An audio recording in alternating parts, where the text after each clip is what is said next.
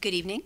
I would like to call the meeting of Thursday, May 25th, 2017, regular school committee session meeting to order. Um, We will begin with the Pledge of Allegiance. I pledge allegiance to the flag of the United States of America and to the republic for which it stands, one nation, under God, indivisible, with liberty and justice for all. So tonight is our reorganization meeting. Welcome to our, our two new members. And at this time, I am seeking a nomination for the role of school committee chair. I'd like to nominate Jean to be the chair. I'll second. I'm following my notes. Well, I don't have I to wasn't second. supposed to take a second, Right. Doing but it I am anyway. supposed to say, are there other nominations? Seeing none, is there a second? Second. Thank you. Uh, Roll call vote to confirm the nomination. Um, I will start with Jennifer Devlin, Yes, I confirm. Mina Barath, Yes. John Graziano, Yes. Nancy Cavanaugh. Yes. Do you vote for yourself? I, I Jean will. Bertschmann. Yes, thank Doesn't you. matter. Very full votes anyway. Right, right, I am- exactly. I am delighted to turn the meeting over to Eugene. Okay. Um, and typically, for our new members, what we actually do is we actually do reorganize and we, we move seats. Yeah. Um, Okay. and, but I, before we do that, I'm turning it over to you. I don't know if you want to. All right, well, why don't we do the vice chair first, Okay. and then um, we can, we can reorganize seats, and then we'll go through the rest of the agenda. So um, I would seek a motion for vice chair um, for the school committee. I'd like to nominate Nancy Cavanaugh for vice chair. Is there, or is there a second? Okay. Um, And all in favor? Aye. Yes. Yes. Any opposed or abstained? You're not going to oppose yourself? Okay. All right, so I think we're all set. Willing That's chair and vice chair. That's always a good sign. Thank you. All right, so typically we have the, the chair sit next to the superintendent in case there's last minute adjustments. So we're going to do a little shuffle and then we'll really get underway. I'm gonna take the corner seat. Everybody remember your name tag or else people will be very confused.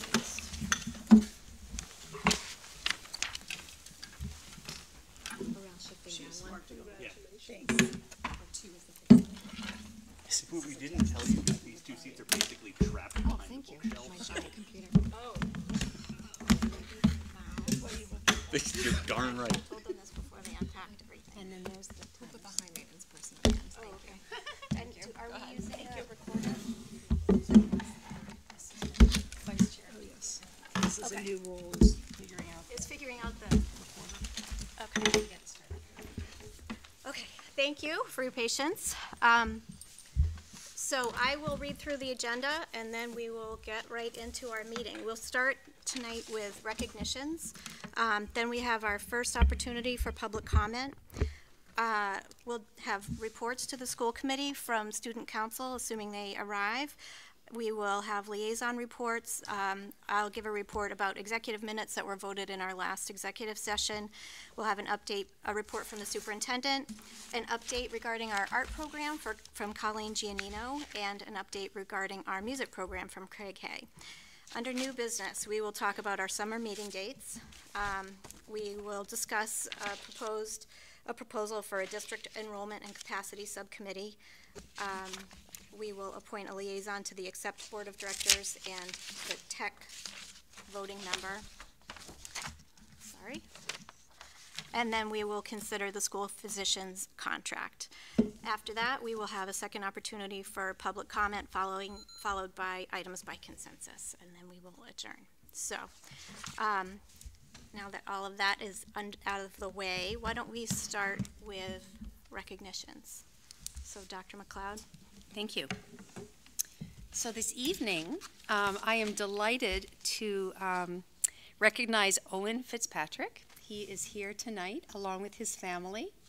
Um, Owen was uh, one from the top 50 essayists in the U.S. He was the first place winner in Massachusetts for his age category in a contest that he entered at the encouragement of Mrs. Norby, um, along with, I believe, his classroom teacher, um, Mr. Kearney. Is that correct? Um, and he not only did he reach that level, but then he received honor citations from both the House of Representatives and the Senate. Um, and I was delighted to meet with him last week in my office. Um, I'm very pleased to invite Owen to come up um, and receive your recognition tonight. And I would ask that Mrs. Norby uh, uh, attend with him and come on up. So, Owen and Diane, please join us. We'll have you sit over here so they Right can. over there. You can talk into the microphone so they can hear you on HCAM. So welcome. So maybe first a little bit more of an introduction about the actual contest would be helpful. And then I know that Owen is expecting a question from me. Oh. All right, good evening. Um, um, If you don't know who I am, I'm Diane Norby, I'm the librarian at the middle school, and it's my really distinct pleasure to introduce Owen uh, Fitzpatrick, who is in the sixth grade at the middle school. Early this year, um, Owen entered a a writing contest upon my encouragement, um, a contest that Dr. McLeod had earlier brought to my attention. The challenge, titled Letters About Literature, was to write a letter to an author whose work changed your perception of yourself or the world around you. Now, this could have been perceived as an intimidating endeavor, especially because the sponsor was the Massachusetts Center for the Book in partnership with the Library of Congress. Now, these are no slouch organizations. well, that didn't bother Owen writing a letter to Charles Dixon, Dickens in response to A Christmas Carol, Owen compared his personal journey to that of Scrooge's metamorphosis. His beautifully written introspection revealed deep insight into this piece of classic literature. And since Owen is an avid reader who makes great use of our middle school library, he is living proof of the impact reading has on one's ability to write. Owen's letter placed first in the state in his age division and in the top 12 at the national level. We're all very, very proud of this exceptional young writer. Congratulations, Owen. Thank you. So, Owen, I know that you were asked to read your letter and that you're really tired of reading your letter, so we're not going to ask you to do it here tonight. Although the school committee, I'm sure after meeting you, are going to say, could we get a copy of that, Dr. McLeod, because we'd like to read it. And, and if that's okay with you, I'd be happy to share your letter with the school committee. Um, but I did want to ask you, where did you get the idea to pick this book for your letter?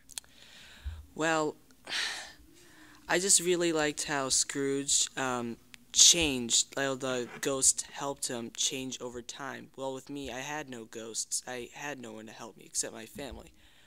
Um, when I was younger, I was a little more out of control, and I didn't control myself a lot. And a lot of the kids at my school did not well. They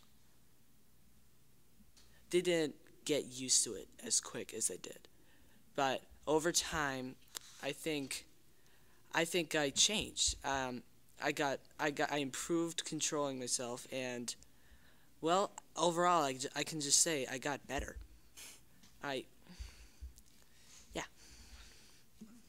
Well, that, that, that is wonderful, and I, I like the part you said about the ghosts. thank um, because we all have those ghosts. Um, So I don't know if the school committee, I, I did prepare Owen to let him know that you would, there would be no surprise questions, but I'm sure you have comments for this young man. Yeah, do you want to start? Yeah, it's amazing, amazing achievement. oh, thank you. And you're just in sixth grade, and to be able to introspect and speak and write, great job. Thank you. Congratulations. It's a very impressive. I'm looking forward to reading the letter, but I understand not not making you read it again. So Thank you. Absolutely. Yeah, I want to congratulate you too as a former sixth grade ELA teacher. This is a, amazing to hear that a sixth grade student grabbed onto a book like like a Christmas or a Christmas Carol and and, and just took it, you know, internally. Good job. It's fantastic. Good work. I echo the congratulations of the others, and I'm really in awe of your introspection and that you really took it to a whole new level. And wow, what an amazing achievement. Thank you. Yeah, I agree. I think it's remarkably mature to take a, to assess yourself in that way, and then also brave to write about it. Um, and the fact that you're reading Dickens at your age is really promising for the future. So I suspect this isn't the last time you'll be sitting at this table, and we'll be talking about an achievement that you've had. But I'm very happy to have been here for the first time. So congratulations! It was really wonderful. Thank you. And Owen, the school committee has a, a special certificate for you, and I want you to know that it was really in honor of you going forward, um, that this is kind of a new um, thing that the school committee is going to be doing. We often recognize students at school committee meetings, but we've talked about the fact that wouldn't it be nice to be able to give them something to recognize their achievement, and so you have started that um, with this certificate. I am certain that your mom will be framing this along with all of the other achievements, and that one day there will be no room left on your wall. So um, I would delighted to to present you with this certificate of, of achievement on behalf of the school committee. And you can just come right up here. Thank you.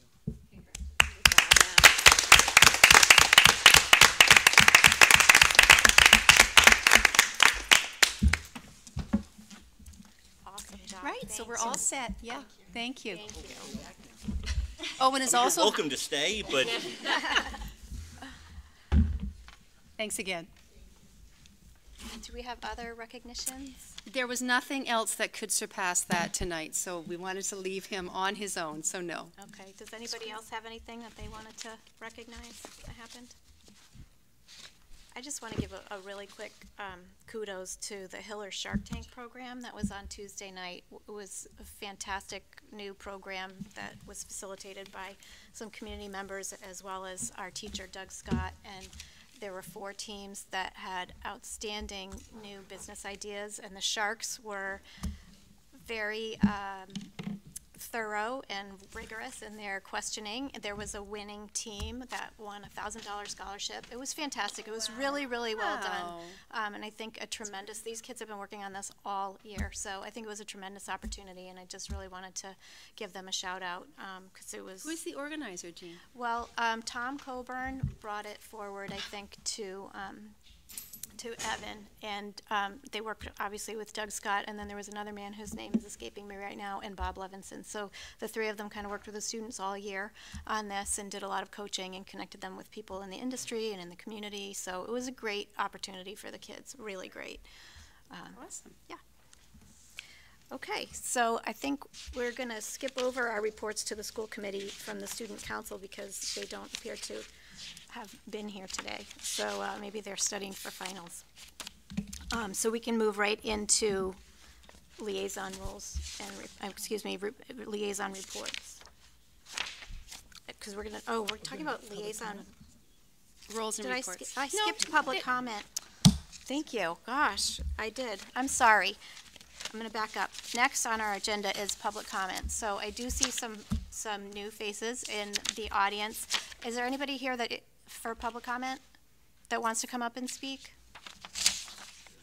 Okay, come on up, and if, have you, so we'll invite you to come up here, and um, I see some new faces in the audience, and you know we have some new faces at our table, so I'm going to just briefly outline um, sort of how public comment works, because I, it's a little bit of an awkward thing in a formal business meeting, so just so we all have the same understanding going in.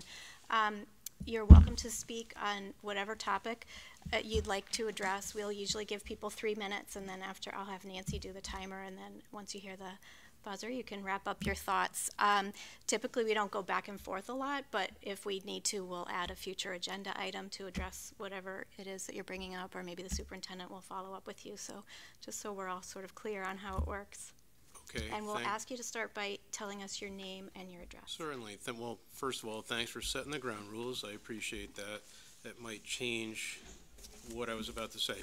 Anyway, my name is Jeremy Schoenhorn.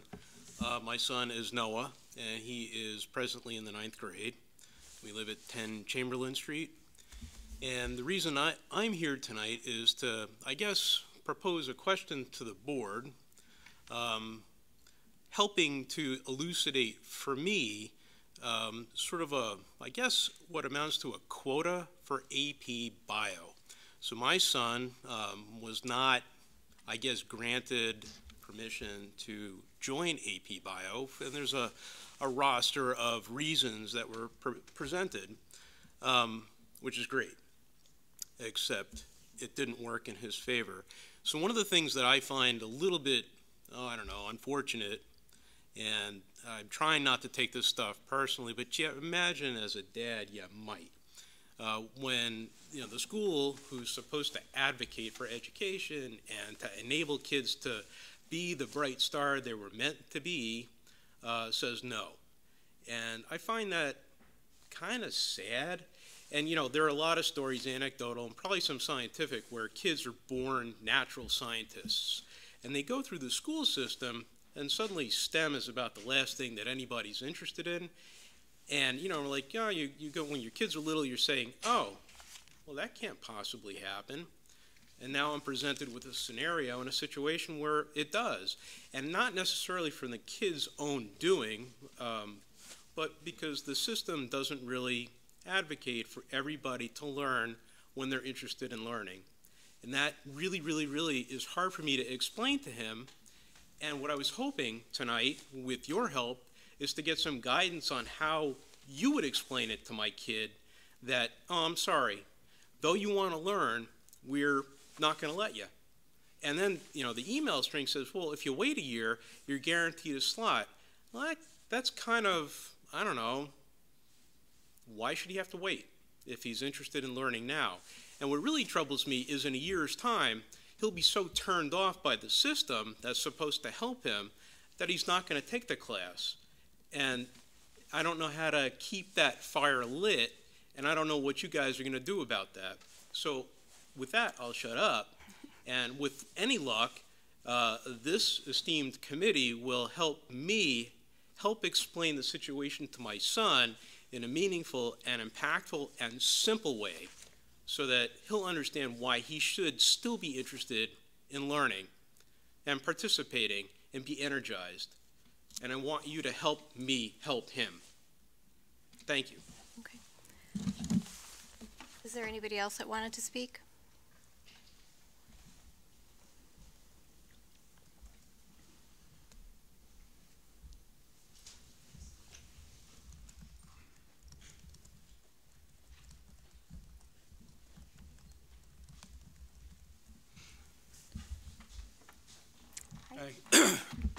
My name's Gary Abernathy. My son's Benjamin. He's in the ninth grade also. In, in similar situation, he was uh, denied uh, getting into AP Bio, which is something he's really interested in, something he was very excited about doing. Um, and similar concerns, you know, trying to keep him excited and interested in school and looking at the options, and one of the options saying, oh, go take AP Bio junior year. And he's struggling with, well, does that mean I take regular bio sophomore year and then AP bio in junior year? That doesn't fundamentally doesn't make a lot of sense.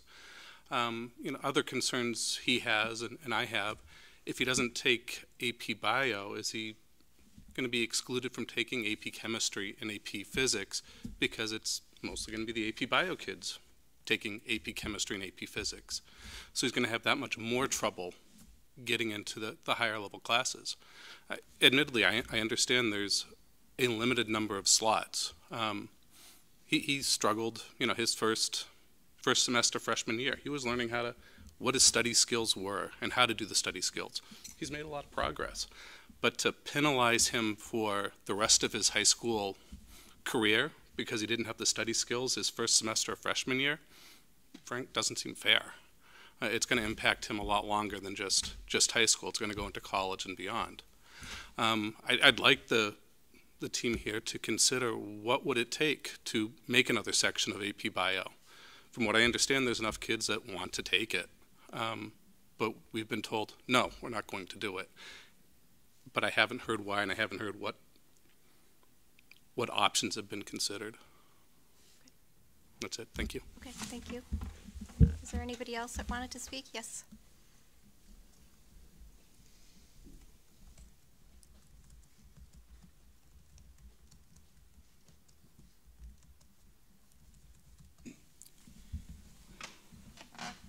My name is Sanjay Narahari. I have twins in the ninth grade, and I'm in the same situation as the two gentlemen there. Both of my kids were denied an opportunity to take AP Bio in the 10th grade. Um, they are hardworking, they're motivated, they are planning to take this course for a long time, and they planned future courses based on taking this course in the 10th grade. Um, and so I don't think it's right for us to deny students who want to challenge themselves the opportunity to, to do that. So I hope that the school will find a way to let the students take the AP Bio in the 10th grade and not in junior or senior year. Because not taking AP Bio in the 10th grade will impact what they can study in, in the future. Thank you. Did anybody else want to come up and speak? Okay, and we do have another uh, public comment section at the end of our meeting too, if you come up with something else that you'd like to say. Um, I, I will just say, it really isn't in the purview of the school committee to weigh in on individual course um, placement for students. However, obviously, if there's a budgetary issue related to adding additional sections, certainly that's something that would come forward from the superintendent. I know she's planning to address this in her um, chair report, so that's probably all I'm going to say at this point. But I just want to say thank you for taking the time to come and, and let us know about your concerns and let you know that we don't typically make a decision on the spot, but we certainly have heard you, and I know that the superintendent will be following up as well. So um, thank you for reminding me about public comment because I also made notes about people that had emailed in that I wanted to make sure that we mentioned in the meeting. We had received emails in the last week um, regarding interest in our F1 visa program. Um, some information shared with us about trash on the Loop Road, as well as questions about the ongoing Gasgate um, proposal for uh, that's that's happening in town. So I just wanted to make sure that people were aware that we had received communications on those topics as well. So if I didn't skip anything else, now we'll go down to um, liaison roles and reports. So first, are there any liaison reports that we need to do, John? Um, so I have a, a fun elementary school building committee report. Um, last Friday, we had um, what's called the uh, topping off ceremony, which um, there are there were two beams that have been that have sort of toured the town. They've been outside the center school. Um, they've been at a couple of the elementary school building committee meetings, so that everyone had an opportunity, uh, or a lot of students and teachers at the center school and other um, members of committees were able to sign the beams that were hung on Friday as the last two steel beams and the highest two steel beams that um, will be hung on the Marathon Elementary School. So with that, the, the steel framing construction is complete, which is a, a huge milestone. Um, it was a pretty cool ceremony that um, I think some of us who have less experience in large building construction were a little curious about, but it's actually a, a tradition that dates back many hundreds of years to have a ceremony for the hanging of the highest beam. So it was um, it was very cool to be a part of. Um, as somebody who has obviously been involved in this project from the beginning, I hadn't been over at the site in a while, and it is uh, pretty incredible to witness the progress. Um, you can really start to see the shape of the building coming together.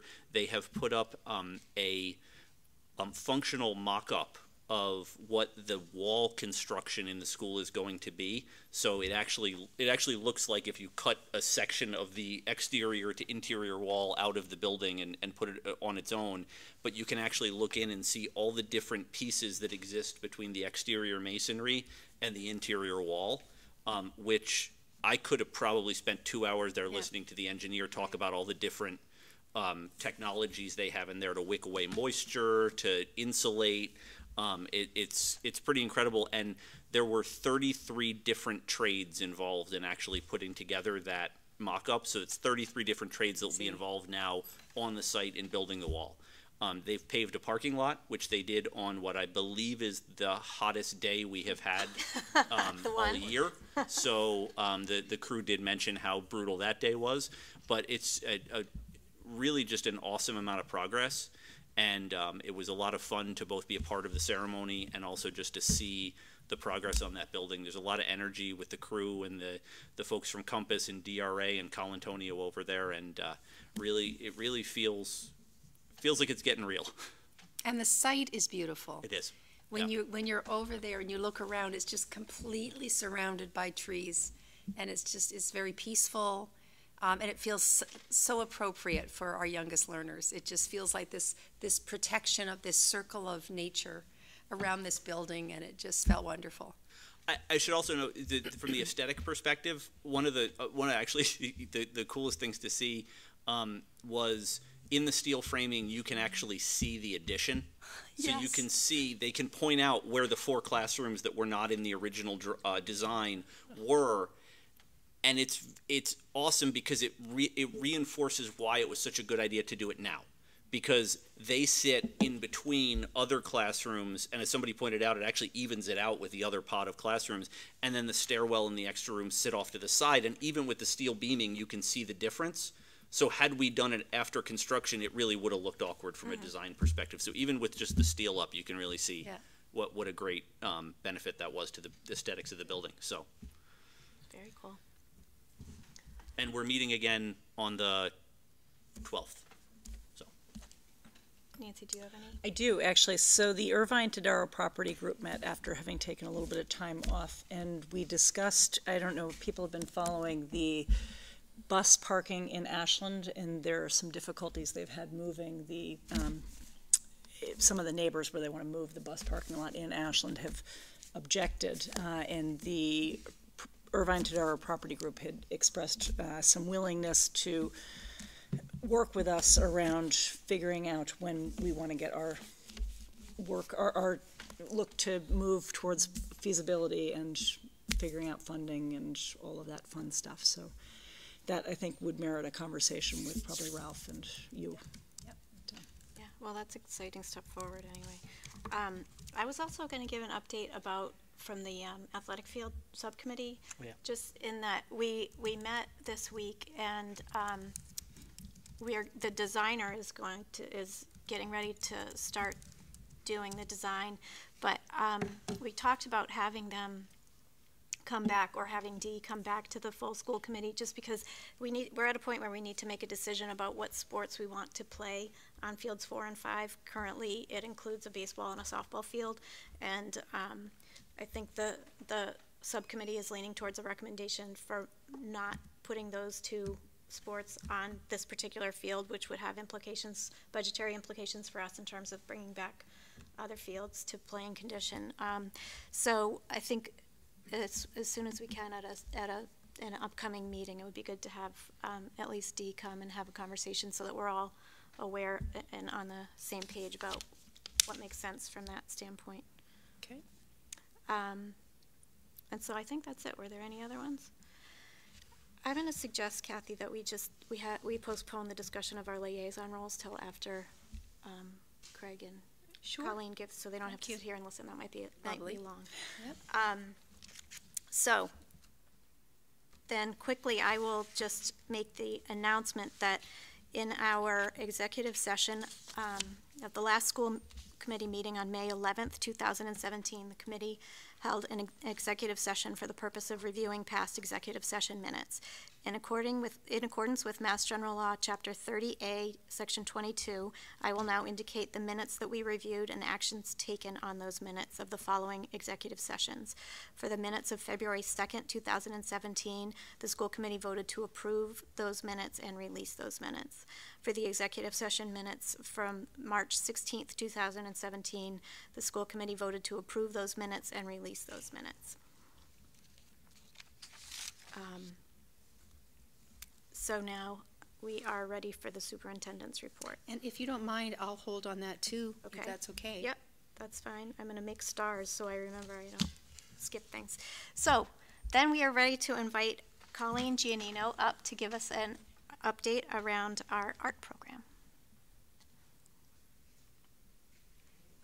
have a, if I can get it to work and find the remote, I have just a slideshow I'm gonna run for you. Oh, cool. Hopefully It's not any. So while you're setting up, Colleen, can you do that? Of course you can, you're a teacher. The, the art show, the, dis- it's, it was just so wonderful, once again. Much, and thank you to all of you who attended. Yeah, and just so, I mean, I know this was your, your idea to, to extend it to include first grade right through 12th. And, the you know, there's just so much pride that you see on the faces of especially the younger kids to see their artwork displayed in the high school. It, it, it's just really wonderful. Um, and to have all your teachers there, of course. It, it's just always such an upbeat night. Um, so would- thank you for all your work on add that. too that the to as a parent of a first grader who was one of those kids. Okay. it's also Oh, really it's so also really it, it's it, I I found it to be a really awesome experience for her though not only to have her artwork up in the high school but then to walk around and see the incredible quality of the artwork for from our high schoolers. Yeah. because I think even at you know at, at a, a young age it sort of resonates that you know you always think about the the big kids right and what they can do and to see her work there and then sort of see the progression to what it can be i think is is also inspiring which is why i really loved the the fact that they were merged together. I thought that was really great. It was wonderful. I can't get this to function. It's okay. Um, Maybe, I need my tech. I I usually have the most success when I just try to use the display option. Ha- Are you trying that? Okay. And there's also a plug-in, Colleen, over there. It's okay. Okay. It suddenly goes on, it suddenly goes on. Okay. So, let me hop in over here. I did bring some other things with me too. So thank you for having me here tonight. Again, I'm Colleen Janino, the subject matter leader for visual art. Um, as a whole, it's been a very productive year, all the way from up from the high school down to the first grade. Um, I'm happy to announce in September we welcomed an existing high school colleague into the high school department, Sarah Williams. Um, so now AP Art History and Yearbook are in our realm and under our wing um, and have made their home down in the C Wing. Um, additionally, in September, um, our cross curricular Fab Lab 3D design course was kickstarted thanks to a grant from the Hopkinton Education Foundation last June. Um, we were fortunate to be able to run three sections of this course this school year, and we will be doing the same next school year. And I have to say, what that course has brought to us, it, it's expanding, it's trickling out into other classrooms. I had the pleasure of working with the laser cutter today with Christine Enos and experimenting a little for my digital art curriculum, and I know Doug Scott in tech engineering has been crossing over. So that's been a great new addition. Um, in October, Sterling Worrell, photography teacher, took three students to um, a student showcase at the MassCUE conference. Um, it was Lily Hanks, Caitlin O'Connor, and Emily Taylor, and they all shared their experience in the smartphone photography course. That's only a couple of years new here. Um, 37 students in October from both the RAD, the Rape Aggression Defense class, and the Graphic Design class came together in a cross curricular field trip attending uh, Massachusetts College of Art, where they visited a Women's Rights Are Human Rights poster exhibition, which I was there because I'm the graphic design teacher. Um, Diane Millette, Bruce Elliott, and Charlene Belcher from the library, we all attended. It was an amazing opportunity to see these students interact with these posters and the emotions and connections they made with them um, and what they were able to bring back to school. Additionally, we had quite an interesting Oh, field trip. You're up there, Oh, just so you know. Awesome, thank you. Um, in October as well, um, a group of students visited Purgatory Chasm in Sutton, um, where they were challenged to respond to the unique environment through their art. So students created artwork in a range of medium from photography to painting and drawing. Um, and it was just a really amazing experience. I chaperoned that and watched our students and teachers in action up on some interesting ledges with tripods or instantly having sketchbooks out. Um, and we set up a little exhibit of the work after the fact. And it was really just prompted um, around the idea of just getting outside to learn. Um, and we'd love to do that again. So also this fall at both Hopkins and Elmwood, the arts teachers continued their yearly tradition of supporting the HPTA with the Square One Art fundraiser. We also had over 100 parent volunteers at both schools this year in the art room, which was impressive. Um, and we are so grateful for their support. I also wanted to recognize some high school students who came to help the Elmwood art teacher at her after-school ceramics class. Um, that was Heather Hawley, Ansley Worrell, Celia Potus, and Megan Canfield. Megan also volunteered along with high school student Victor Chang to design a mural for the Kenya Day event at Elmwood that the second and third grade students could then paint. Um, there were so many other things in addition to this that our students were recognized for this winter and spring. In January, we had two gold keys, six silver keys, and 14 honorable mentions that were awarded at the high school and middle school in the Boston Globe Scholastic Art Awards competition.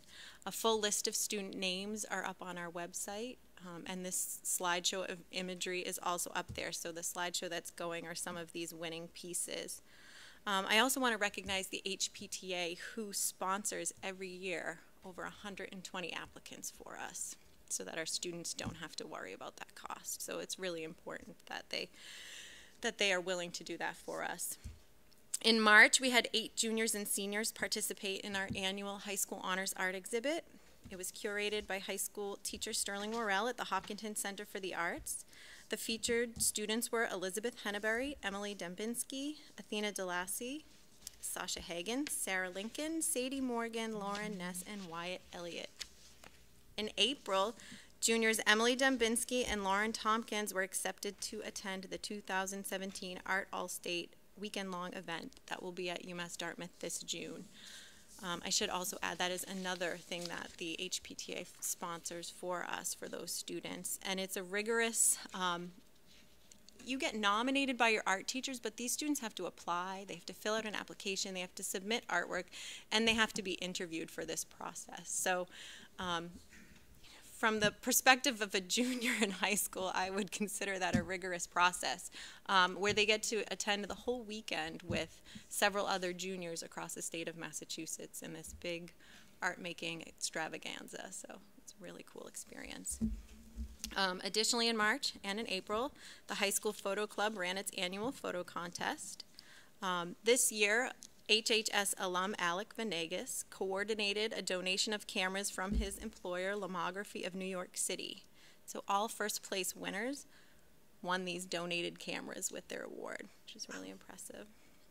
The following students received recognition for their work. Best in show was Marissa Carty. First place in color was Patrick Webb. Second place in color, Brianna Toko. Third place in color, Delaney Mick. First place in black and white, Declan Curry. Second place in black and white, Grace Schachterly, and third place in black and white, Jackie Ziegler. Um, this year's juror was also an HHS alum, Maddie McKenna, who majored in photography, and I hear she's back home designing some interesting jewelry too. Cool. Uh, May, obviously, has been a busy month we recently held our Night for the Arts, and again, for the third year in a row, it has featured work from all schools, and it just seems like it's just expanding. So, um, if you saw the show, which most of you did, our art teachers are just amazing. They keep adding um, artist statements from all grade levels, you name it. We had art history put artwork with explanations about what they were learning in AP Art History this year. So it's really becoming a quite an event. Um, we also shared the evening with the One Act Play Festival, so I'd like to thank the drama teacher Valerie von Rosenvinge for sharing that, and as well as thank um, the chorus teacher Isaac Brody. Um, he brought Noteworthy, the high school female chorus here, for a little musical accompaniment. The 12th edition of Hop Arts Magazine was released the night of the art show, and this year it was juried by Brian Bishop, who's the chair of the Department of Art and Music at Framingham um, State University. I brought some copies of that with me, so feel free to take some on your way out. And that's also will be available to download off our website too with previous editions. Three principal awards were granted that evening. Um, they went to Julia Nadow for her photo titled Spring Rain, Brenna Pettipitt for her prom dress design, and Lauren Tompkins also for her prom dress. And I have to say, those were probably the first of their kind at our show. I don't recall ever having a fully constructed dress that that was worn at a previous event. So they were really impressive. Um, I just started getting these announcements in on May 20th. The annual fourth Congressional District Art Competition award winners were announced at the Attleboro Museum of Art. Um, winning for her fourth year in a row, Senior Sasha Hagen. Wow. Received second place in photography. And I just found out today, junior Zachary Humans took first place for his book jacket design in the computer generated category. And Fatima Zaidi took second place for her typographic self portrait in the same category. So I'm extra excited because they're my students. um, and I just wanted to note that our first grade artists will have the opportunity to display their artwork again the evening of June 5th at the annual Center School Art Show and Book Fair. So just imagine what that's going to look like at the new school. um, and that is from 5.30 to 7.30, and we welcome everyone in the community to attend. Um, in closing, I just want to um, thank you all, thank all the members of the art department for their hard work and dedication in helping our students achieve such great accomplishments. Thank you to the district, our administrative team, the school committee, and the many community members and organizations like the HPTA, HEF, and the Hopkinton Center for the Arts. Um, it is with everyone's continuous support that we are able to be the department we are. So thank you. Thank you. Thank you Thank very you, much. Colleen. Excellent. It was Great. exciting, but just looking at all the slideshow, oh my God, it's hard to take your eyes off that stuff. It's impressive what they are capable of. And I think, you know, our students surprise themselves. Yeah, You know. and, and we should, we should pause and make sure that the school committee doesn't have questions. I know, Mina, you had one really interesting question, not that they weren't all interesting questions, but I was interested in the answer to the question about how many of our students go on to have careers in, in the art field. So I had, let's see, I wrote down about 15 students that have fully declared an art related major that are going off to whether it's um, specifically an art school like Savannah College of Art and Design or they're going to um, a you know university like San Diego State where they'll be able to study other things but we've had we have students who right now have declared majors in commercial photography, architecture, mass communications, graphic design, film, a lot of film and animation this year, which was interesting to see. Um, so, and anecdotally, we hear back from students here and there about where it has taken them.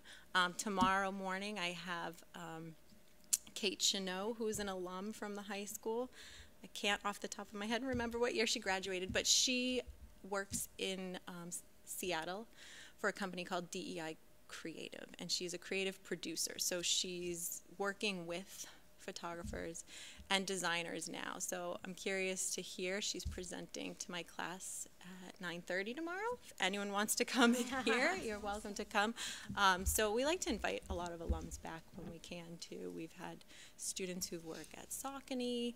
I have a former student who works out um, for Spyder, the ski company out in Colorado now. So it is interesting to hear those stories. That's great that you're able to bring them back, and I think to John's earlier point, for younger kids to see them as role models and as a possible option for them. That's amazing. Thank you. Thanks. Awesome. Another amazing year. Thanks, For Nancy. arts. I did have one more question. Sure. Yeah, it was about, uh, you know, I think you said that some of these events are open to the community. Um, so do we advertise about that to the larger community? Do we invite them in? So I try to post announcements on the district website, um, and the department also has a Twitter account, and I usually feed that out that way. Um, we'll reach out to HCAM. We mail out postcards. Um, we send letters home to the parents at the elementary level um, to, you know, raise awareness about the event, invite them to come. I'd certainly be excited to join one of these exhibitions. Yeah. it's amazing. Thank You You get a lot more invitations now that you're sitting here, don't worry. We'll make sure you I have a sense there'll be a number at the first grade uh, art show this year. Oh, yeah. There's a, yeah, there's a lot of Yeah, I think first all graders. four of right? Yeah. Yeah, but, but certainly, you Oh, know, wow. a lot of our seniors too, you know, at the senior center, um, Mm-hmm. I, I would think they'd be very excited to come back and come see to too, these you know, what you were pointing to, Dr. McLeod, at the town hall. Look how your dollars are working. Yeah, yeah. Um, and we don't have a senior liaison, do we? Senior Center. Do we? I don't think we do. We could It'd talk be about. worth yeah, talking I about think that. that's Yeah. a great I mean, that is a wonderful idea. I mean, in terms of communicating, direct communications and invitations to events going on in the schools to our seniors. I think that idea. would be a wonderful outreach. Yeah, that's a great suggestion. All right, does anybody else have anything? Thank you Thank so you. much Thank for you. coming, and thank you for all that you do for the students. It's Thank remarkable. Okay. Okay. Thank you. And Mr. Hay, oh, would you like to come and join us and update us about our equally impressive success in the musical arena? Did you not bring an instrument, prop? No one's singing to us? That was only in the senior recognition Okay. video. Thanks, Colleen. Thank you. Welcome. Good evening. Thank you. Uh, my name's Craig Hay, uh, the music department subject matter leader K through 12. Um, so just with a year in review, I guess. Uh, so uh, the music department has shown tremendous growth this year in a positive direction. The department has worked hard with continued development of new development of new standards and benchmarks in order to analyze our teaching practices and track student growth. One of the things that we've been really working on is seeing where our kids are beginning to end, and obviously we can hear beginning to end, but we want to make sure that the stuff that we're working on, the subjects that we're bringing up within music are really being taught and are carrying through K through 12. So we've been working really hard to try to establish that, and we figured this was a good year because we had some, well, over the last three years, we've had three new teachers, four new teachers join the music program. So it's like we have some new ideas and some new voices, and good idea to start really working on building our curriculum again. um, so we've seen many positive gains in our general music classes and performance ensembles, and we've done this while also preparing for 37 different performances this year. so here's some things that happened throughout the buildings this year. First at Center with Wendy Moran. Uh, going back to last spring, her tremendous Flag Day programs that she puts on and is now preparing for the one in June. Um, and her absolute excitement about the new marathon elementary building and preparing herself already from moving from going from a cart to actually having her own teaching space and adjusting her curriculum there. At Elmwood, we had quite a change. Uh, Mrs. Diamond retired in October. Uh, she's been a mainstay there for years. And luckily, it's been a seamless transition to uh, Mr. Christopher Sweeney, who student taught here a number of years ago, uh, was working in another district, uh, and has come here and has really done very well and flourished. And it's been a seamless transition. Uh, the kids really enjoy him, and uh, from what I've observed, um, it's just the perfect fit for him. At Hopkins, uh, we had uh, our teachers Jessica Barkin, Kat O'Toole, and Caitlin McDonald. Uh, we had over 100 fifth grade chorus members this year, which is a little bit different because last year we started a new fourth grade chorus model where all students receive chorus for the year for a trimester. And the retention into fifth grade chorus this year was much greater than it had been in the past maybe five or six years. Uh, we started 50 orchestra members and 126 fifth grade band members. Wow. At the middle school this year, uh, with uh, David Purdy, Jeremy Dodge, Lisa uh, Nielsen, uh, Kat O'Toole, and Caitlin McDonald as well.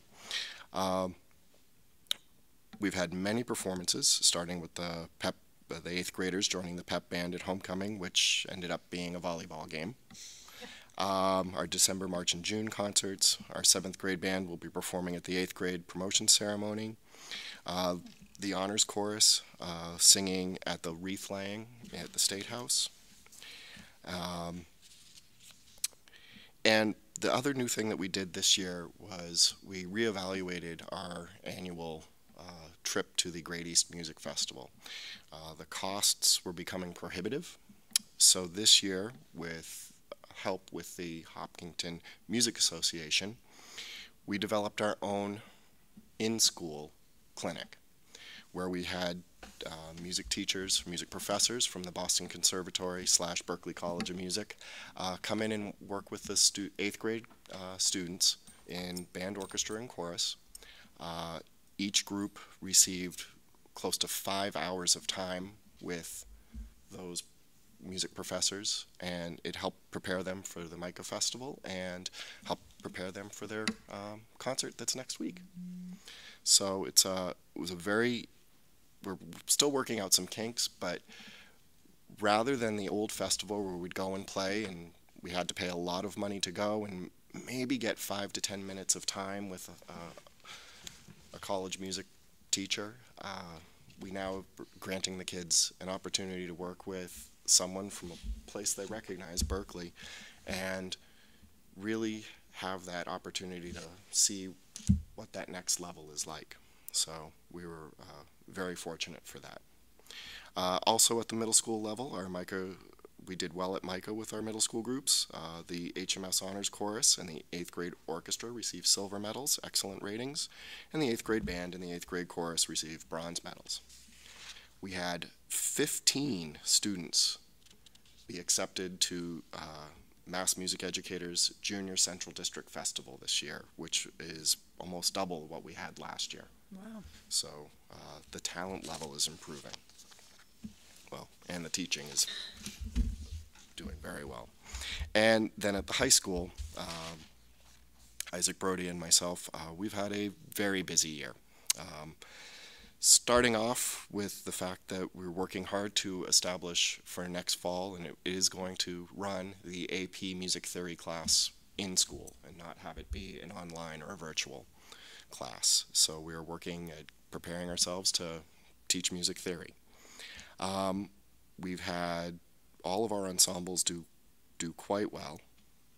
Um, at MICCA this year, the high school concert band and the high school orchestra received gold medals. I do want to say that with the high school orchestra, um, for me, excuse me, that's been a um, it was a task given to me my first year working here in Hopkinton by former music teacher Carol Spangler, who said, You need to start an orchestra program because we used to have one and it was really good.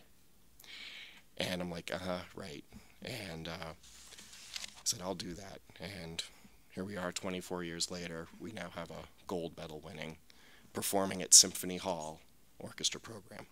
So it's been a long, long road to get it there, but I appreciate all the support we've received throughout the years to build our orchestra program back up. Um, our high school jazz ensemble participated in the Massachusetts Association of Jazz Educators this past March and received a silver medal. It's the first time we've had a jazz ensemble in that festival. Um, just want to look a couple of things. Um, this year for Central District, at the senior level, we had 13 students get into between the orchestra, band, and chorus. Um, we had four students make it then to All State and perform. Uh, and those students were Bella Comadromos, Rachel Chen, Dan Moreno, and Andrew Keeley. And then, for the first, well, for first time in a while, uh, Bella Comadromos was accepted to the All Eastern Festival. And then on top of that, she became our first ever student accepted to the National Chorus. Wow. And she performed last November in Grapevine, Texas. To go with that, uh, Rachel and Rachel Chen and, and Dan Moreno were selected to audition for next year's national festival. So once again, talent level is rising, and we're very proud of those students. Um, I just wanted to take time right now to thank the Hopkinton Music Association, Clorinda Kershey, president, uh, for their continued support of our concert attire for the high school, preparing the concert booklet, and, and fundraising for everything that we do K through 12. Um, the Music Association members are at every performance helping teachers by chaperoning and being greeters at the door. They've gone above and beyond to find ways to help support the music department. And as I mentioned this year, the new thing that they did was provide the clinicians. Um, I also want to thank, th excuse me, I also want to thank the Hopkinton Parent Teachers Association for their generous support to help our jazz ensemble participate in the jazz festivals that they did this year. And they came through when we found out Bella was making all these uh, national and all Eastern festivals uh, to help us fund her trips there.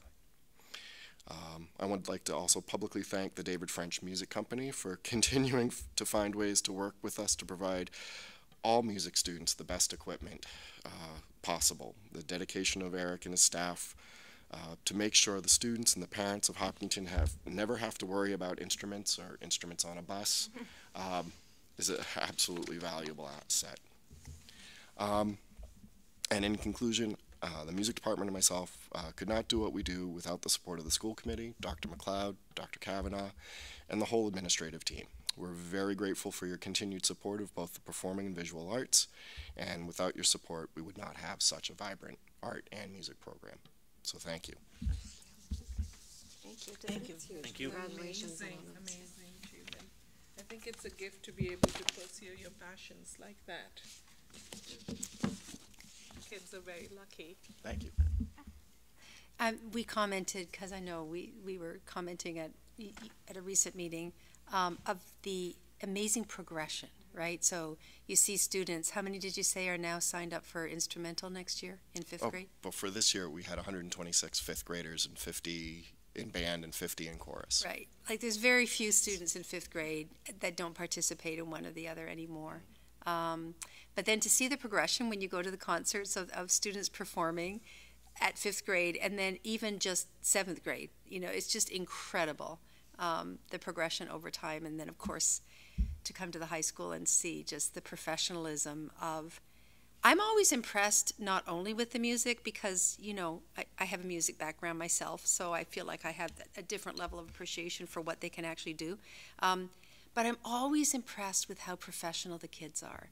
The amount of respect that they show, and I, you, you- see this in music, um, that there's a certain just respect that they have for the whole performance venue. Um, and I watched, I marveled at watching the, the, the attention just with the, the, the mere tap of a wand, right? Uh, and they're right there ready to go. Um, and that's a lot of teaching, Craig. That's that doesn't just kids don't just do that. But I think to appreciate it, you have to see it. You have to see where it began and then where it goes, and it's just absolutely remarkable. And I thank you, um, for bringing all of that joy to to our buildings and an opportunity to all of those kids. Well, in particular, I really, I want to thank you for the length of your service to the district, even, even through the, the dark years of very terrible budgets. We were fortunate that our community really continued to support the arts, and so, but not only, you know, when other towns were, were cutting back, not only did we survive, but we really thrived, and I think in large part that's due to the creativity of you and other, um, teachers, and I just, I love, I'm so impressed hearing about basically bringing this master class here into the building for our students as opposed, I mean, just such a better value and so more, much more efficient in terms of money, of course, but time and just what the kids get out of it, the richness of what they get out of that, and on top of everything else that you're doing, to take the extra time to get the certification to teach the AP class, because that's a whole other, it's not just anybody that can walk on and do that, you have to get the certification, and it's additional time and training, so I just really want to thank you. We have such a rich program here, and it's due to you and to all of the teachers just going so far above and beyond. And um, and as Cassie said, you can really see how the kids they learn so much more than how to play an instrument, and um, it's just a tremendous skill in their life. So, congratulations to everybody. Thank you. Thank you. I, I want to echo that and just so appreciate how much passion you ignite in the, the kids. I know for, through all the grades really, but I know the high school band better just because of my involvement in it. But it really is nice to hear those kids really enthusiastic and say, I love band, I love that and look forward to that. So it's a gift for them to carry onward through past high school. I'm just curious if you, um, you know, introduce any international music to children as part of the programs through the years. We do, uh, especially at our, our younger levels. Uh, music from around the world is incorporated. Um, as they get into the performance ensembles, it's a little trickier because not a lot of that music has been um, um, arranged for concert band or orchestra. More in the chorus. Uh, if you listen to Mr. Brody's programs, he does typically have a very wide range of, of music. Um, I do have to say that for this Pops concert, I, I am trying to branch out even more. I've I've had a few students push me this year, which I think is outstanding. Uh, we did a piece of music at the Pops concert that included, um, I guess the best way to put it is technology. Uh, I have a student, Stephen Oslander, who will be heading to the University of Miami to study music and technology, and he's a DJ on the side.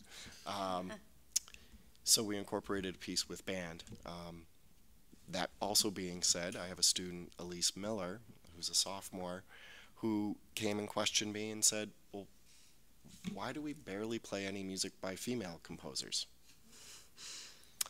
Okay. so she's had a year long project of looking up, finding, and and I've been helping her uh, find female composers. This piece that we played with the technology was by a female composer, Alex Shapiro. Um, but she's been writing publishing companies about their practice of hiring uh, women composers and or and or finding out why women do not go into composition. So it's been a very interesting uh, twist on things. So. That's great. Anybody else? Thank you so much. Thank I know you. you have an early morning. You're welcome to stay, but I don't blame you for not doing so. Thanks, Craig. Thanks a lot. Great to see you. Do you want to go to your report and then we'll tackle liaisons? That would be wonderful, Okay. thank you. So part of my report was to talk about last week, well, John talked about the beam, and uh, that was a wonderful opportunity, and then the, the art um, show, art and one-act plays. Um, So I guess I have two other uh, items, um, both a little bit different from what I typically report. Um, The first had to do with the reporting through the annual to- town report of what appeared to be um, i- from the teacher's perspective, inflated earnings. And what it ended up was that in the town report, the earnings included two balloon payments. It just happened that way on that particular year. So the report was accurate, but it wasn't, it appeared that all of a sudden, teachers were making way more than they actually make on an annual basis. Um, so we have worked with HTA, um, Dr. Cavanaugh and myself, HR, and Mr. Sandini to put a statement out to the um, town to clarify um, and set the record straight. And I'd like to read for you tonight that statement. And, and here it is. The annual town report, specifically the school department, parentheses, teachers payroll for fiscal year 2016, which is July 1st, 2015, ending June 30th, 2016, includes an additional five weeks' pay that was earned in 2015 but paid to teachers in July 2016. So that's very different from teachers being paid in the summer. This is money that they earn during their teaching year uh, of 2015. Uh, th- this occurred due to payroll timing issues and may give the appearance that teacher payrolls were inflated for the FY16 school year, which is not the case. In other words, due to timing issues, the report shows wages that were earned in fiscal year 2015 but not paid until fiscal year 2016. So that statement has been made. It's going to be attached to the town report under that particular section. The town report has, is apparently no longer on the main web page, but the association has worked through Ms. Polnick's office and Mr. Sandini's office to meet um, the request of the HTA. And I wanted you to be aware of the statement that's out there. Are there any questions about the process or the confusion that came from this? No, but I'm glad you're making the statement because I did notice that too in the town report. Did you? as well. I did notice it, yeah. And I, I mean, I know to go reflect back and go back to the contract, I know that's what the teachers are earning, but still, it's good to sort of set the record straight for people who don't know, know to go to the contract. So Right. It's good, yeah, yeah. And for those watching, which I know there are several tonight, um, pointing out that you are a teacher, I think, I think is a, an important perspective, Right. you know, as a new school committee member, um, for people to understand that you, you've got that lens on it. Um, I, I don't want to, I, I- I don't want to sort of d- dive us into the weeds here, but it just, because these things happen, I mean, it was a payroll timing issue, but it's a payroll timing issue that could happen in the future. And just where my, uh, sort of, by, by reporting, my financial reporting brain is going is, I'm not sure why we would have reported it in twenty sixteen if it was accrued in twenty fifteen. So I'm wondering if we're talking to the town at all about the procedure by which they actually Mm. calculate that number and what the requirements are in terms of what we report. Because it's great, that it is great that we're putting the statement out. Yeah. It would be better if next time we didn't have to put the statement out because Yeah. we were able to re- reflect it- the, the Yeah. compensation in the right way. I understand what you're saying, so because the maybe- payment happens in July. But we but accrued it, in- but we accrued it in Correct. fifteen. I hear what you're saying. So a follow-up to, to see if there is a different way of reporting in Yeah. general? Again, to reflect Yeah. the earned year compensation as opposed to the paid year compensation, which can for a host of reasons be thrown off. Sure. Mm-hmm. Okay. So was it not reported the previous year, or?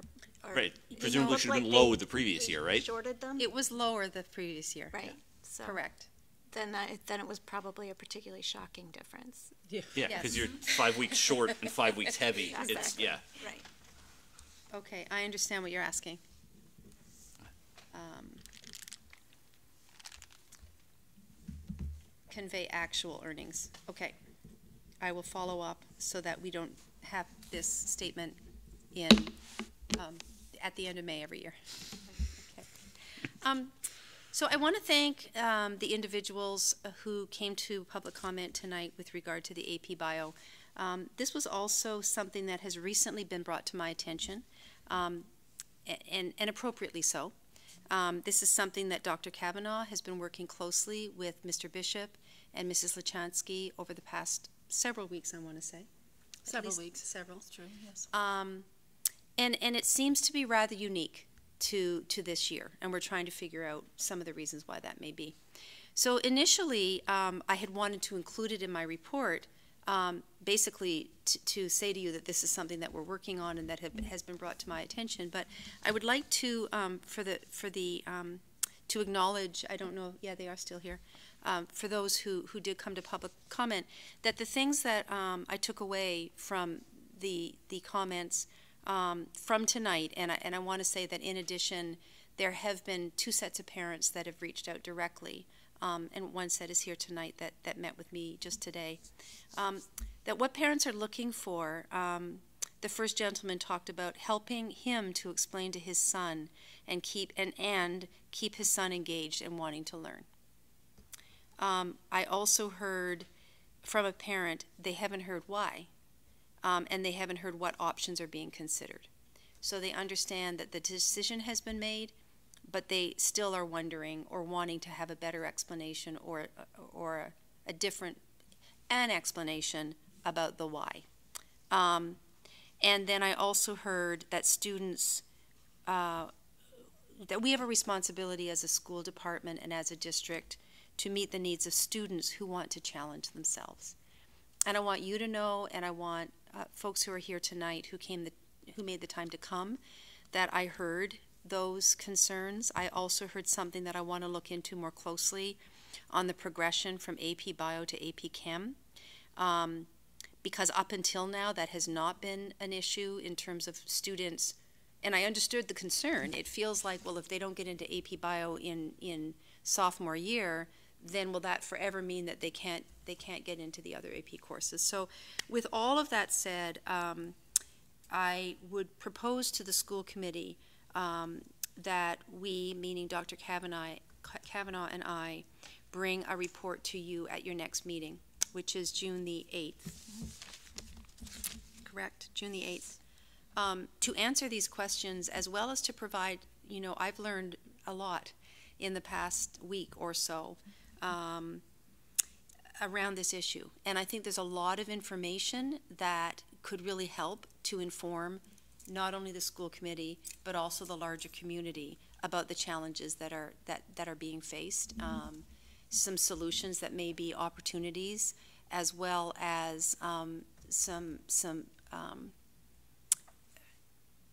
some unique uh, decisions that are made in this district. Um, and I'm not, I'm not placing judgment on any of those statements. I'm just saying that these are all things that I believe need a more thorough presentation on. So um, if that sounds reasonable to you, then under reports next, at our next meeting, um, Dr. Cavanaugh, Cavanaugh and I will provide a report, um, working, of course, closely with Mr. Bishop um, and Mrs. Lachansky, who, for those who are new, and I'll only do this this one meeting. You won't be new after this. This is all you get. Only tonight. For the foreseeable future. No, It's okay. no, just this meeting. I think I'll Um, keep asking my questions, Dr. McLeod, until you deem me not new anymore. No, no, no, uh, no, no, no. So, um, she is the subject matter leader, and, you know, in other districts, that might be called a department head. Um, but our subject matter leaders, you, you heard from Craig and from Colleen tonight. Um, similarly, in our science department, Mrs. Lachansky is our science, our subject matter leader. Um, so, uh, Dr. Cavanaugh will be working with those uh, two individuals to gather information that answers these questions I would like to put out there um, that if there are other questions that, that parents want asked or answered, um, that the best way, as always, is to contact Dr. Cavanaugh or myself directly. Um, and then I want to finish by saying that um, it was disappointing to me to have um, to read a comment that was that was widely distributed on Facebook today. That was not accurate. Um, that misquoted things that were said, and and I I do give the benefit of the doubt for people hear what they hear. Right? Statements are made, and there are understandings that come away from the statements. So I will give you an example. I was quoted as saying, um, they, meaning Dr. Cavanaugh and I, do not think they have an honors bio teacher who can step up um, to teaching AP. What we did say is that we do not currently have a teacher available to teach this course. And what that means is that they're fully scheduled. Um, clearly, our teachers are fabulous, and we would be able to have any of our teachers teach um, an AP level course. And if they weren't currently able to do that, we could definitely uh, provide additional training. Y- We have to remember that this is a sophomore level course, and they're teaching at a college level. So that's a that's a big jump. Um, but I do believe that when comments are made in a private meeting, um, and then they're shared, um, and then it's shared many, many times, I did want to take this opportunity publicly um, to just clarify that in no way was that said, or if it was heard that way, it was definitely not intended. Um, there are also some uh, some comments about the teacher contract, and those of us who have had the experience of of negotiating understand that it's a very complex process. And so, of course, in a brief conversation, I can understand that things can be misunderstood. Um, but in no way does our contract limit us from absorbing additional students into current sections. Rather, there are limitations based on safety regulations, um, OSHA, I think, OSHA does make recommendations around science labs. around science labs that we have been held to um, over, you know, over the past many years. Is that something that we can take a look at? Yes, if that if that's something that makes sense. Um, but it had nothing to do with the teacher's contract, and so, given that it's being um, communicated and posted widely in a variety of places, um, this is upsetting information for teachers to hear especially when it's attributed to their superintendent, who did not say these things. So I wanted to have an opportunity to clarify um, in, in, on this particular message. Um, and then we look forward to coming back at your next meeting with additional information, um, with the hopes of being able to, um, as, as the individual who posted um, did correctly quote me in saying, you know, looking at some creative solutions. Thank you. So, um, I, so thank you, and, and I would say to, to echo what Mrs. Bertschmann said earlier, typically this is not a subject that comes before this committee, right? Um, but I, I think what's particularly unique, uh, maybe about Hopkinton, um, is we often tout when we talk about our performance that we have such a high AP participation. Yeah. Um, and so having more students who are interested in participating in AP Bio would sort of be classified as a nice problem to have in some cases. yes. Um, and so, and, and I also think this is a great example that we, we've been talking about for a number of years of where we can also be forward thinking and think about not just how we can creatively solve this, but what if this is a next year's budget problem too?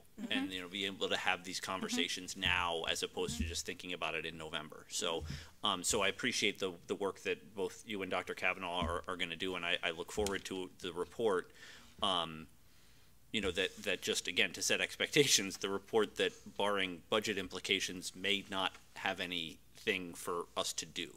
Right. Um, but I think it's great for awareness, especially given the, the number of, of the focus on APs at the high school. Yeah, and, and John, I'll just reply to your statement i- i- in that, and thank you for, for making that clarification in terms of roles.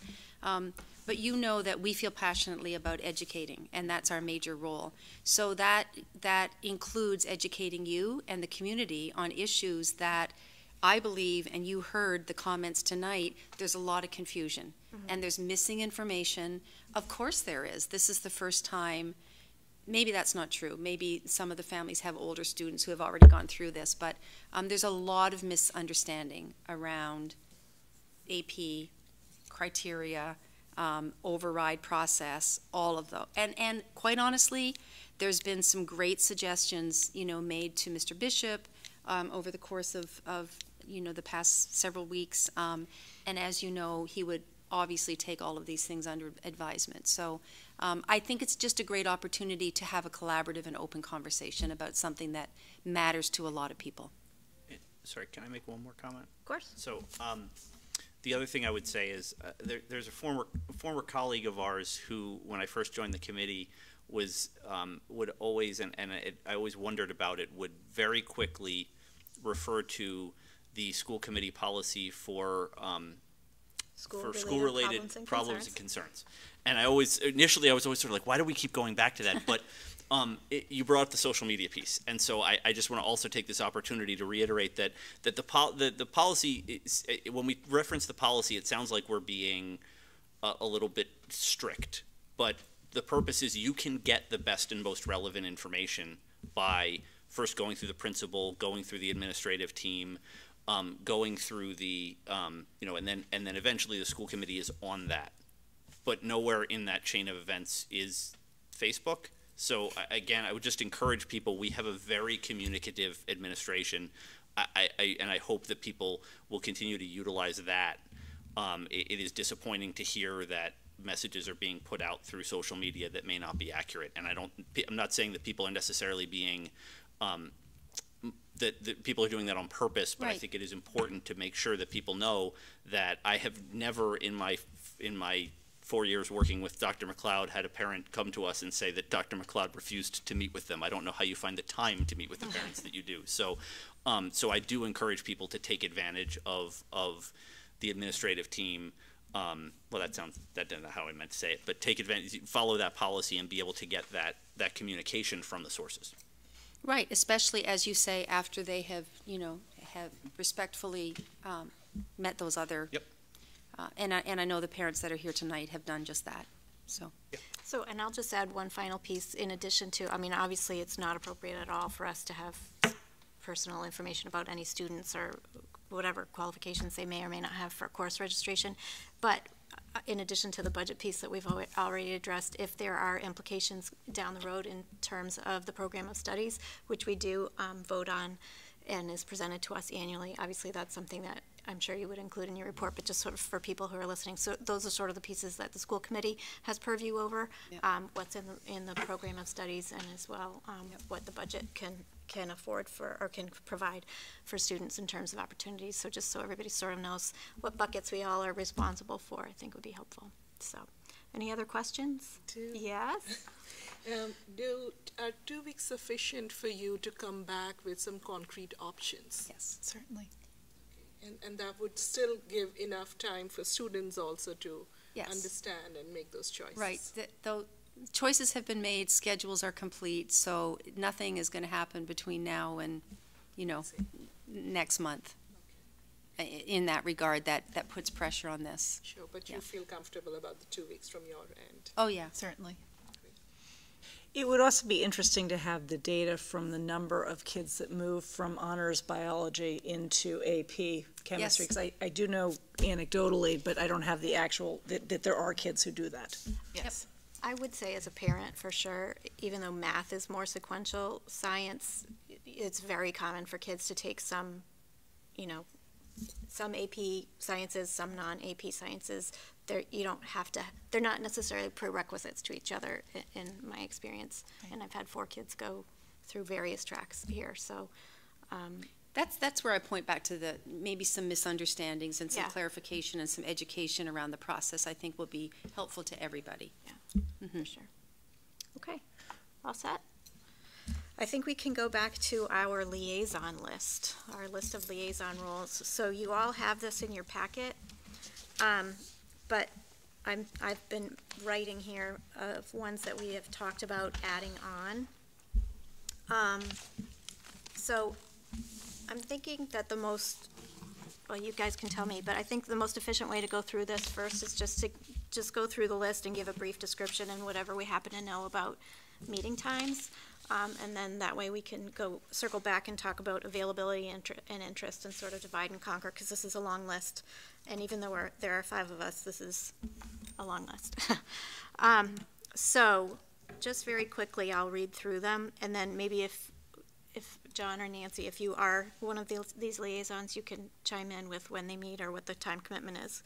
Um, so chair and vice chair we took care of. Media spokesperson is typically the chair and the superintendent, so We don't need to go back to those. Um, so the ESBC, we have two members. One is a voting member and one is not a voting member. So John currently is and has been since it was set up our voting member. Um, Kelly was our non-voting member, so we will need a second person to serve on the ESBC. And when did those typically happen? So we're, we're at the point where we're about, I would say, once to maybe twice a month. Uh, Largely what we're doing right now is paying bills.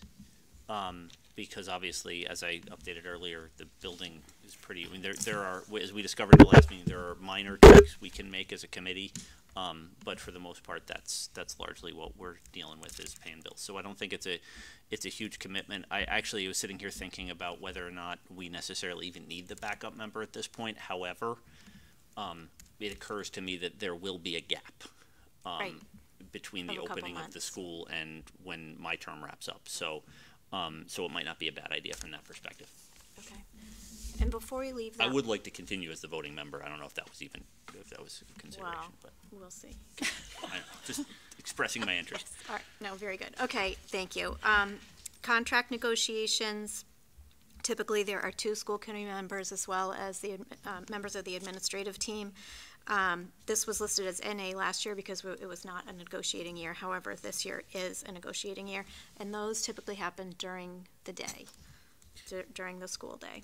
So I have a question. So as we are going through, are we also discussing interests or will we Well, come what back I to it? thought I would do is just explain what Sure, they all okay. are, and then we can go back, so you might be more interested in some than others. Um, community com- communications, typically this is, um, responding to emails that are sent to the school committee, which is usually done by the chair and/or the superintendent.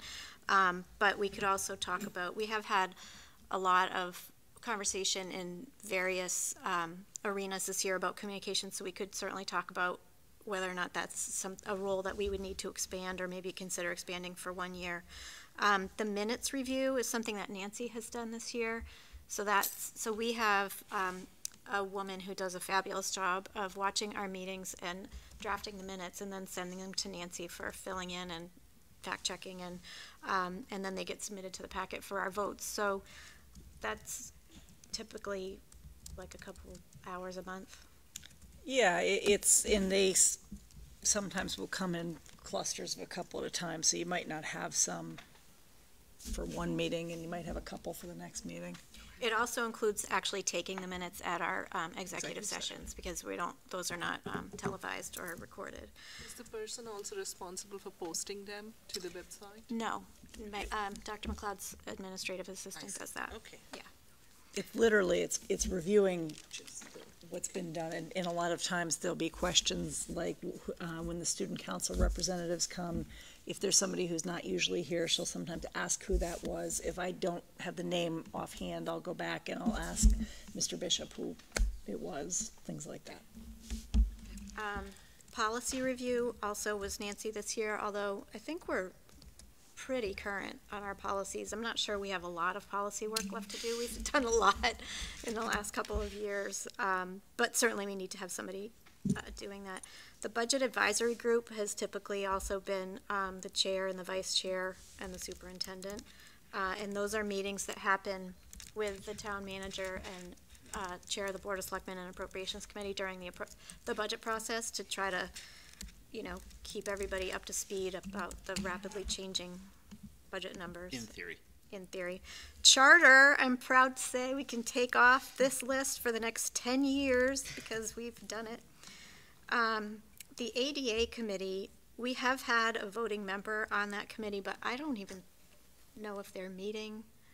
So I did it for, two, I did, I was not the ADA, I think it was Kelly last year, uh, so I don't know. I did it for two years. The first year they met a lot. The second year, didn't hear from them. So we could either leave that open and confirm with Norman whether or not that's something that's still ongoing. I'm not sure it's a sustaining committee, because they had a period of time and money that they had to spend. So I'm, I'm, yeah, we should probably confirm with Norman, Yeah, because it 'cause I might be that it- they're over. I did it years ago. It started because there was a lawsuit against the town, Right. and there were a lot of ADA issues that had to get addressed. And then for several years in a row, there was a an ADA article, but that hasn't even happened in the last couple of years at town meetings. So that's why I'm not sure. I have the feeling it's something that the permanent building committee is kind of just taking care of. Mm. Um, so if we could check on that, let's Okay. just leave that one alone for tonight. Okay. Um, the appropriations committee, that typically has been the chair as well as the board of selectmen and capital improvements. Um, the sustainable green committee, um, hasn't met for quite some time, although we all received an email today really regarding, uh, from a woman who is on the sustainable green committee.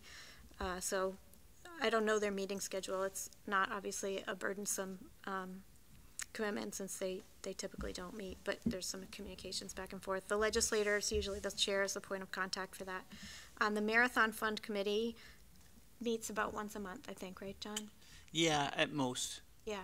At most, and, and that's just, um, you know, that it's a, they have a, a fund that they, people make proposals, because that's why it's at most, because sometimes there are no proposals, um, to requesting money, community organizations, and you get to award money. That's a It's a fun one. pretty fun one. Yeah, that's an enjoyable one.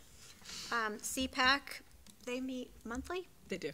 Um, and we all attended their meeting last week, which was great, but Lori had, um, been their liaison for a couple of years, so that would, we need a new liaison. Um, TEC, we have a voting member on the TEC board. Um, in the last couple of years, that's been Kathy, but it has, in prior years, been a school committee member, so we can talk about whether we want to go back to that or not. Um, and then, obviously, anybody is welcome to go. They meet every other month on a Friday morning at like eight fifteen in Walpole. Um, Youth Commission has been Nancy this year. That's about once a month as well. Planning Board, um, they meet every other week. Um, you don't necessarily have to go to all the meetings, but following the meetings, um, is helpful because anybody that drives through town sees that there are a lot of new developments which always have a huge impact on the schools, so it's just good to be aware of what's happening there. Irvine Todaro, this is a committee that is tasked with coming up with a plan for the use of the, of the second piece of land that is next to the Irvine property where the school is being built. Uh, so the town also purchased another piece of, another parcel of land that extends from there behind to, um, to Waterfresh Farm. So Nancy's been on that committee, I don't know how often you meet. In, in the beginning, we met every month, but we met earlier this week, and unless there's some significant movement on the bus situation, probably won't meet again until September. Okay, and that's an evening meeting as well? It is. Okay.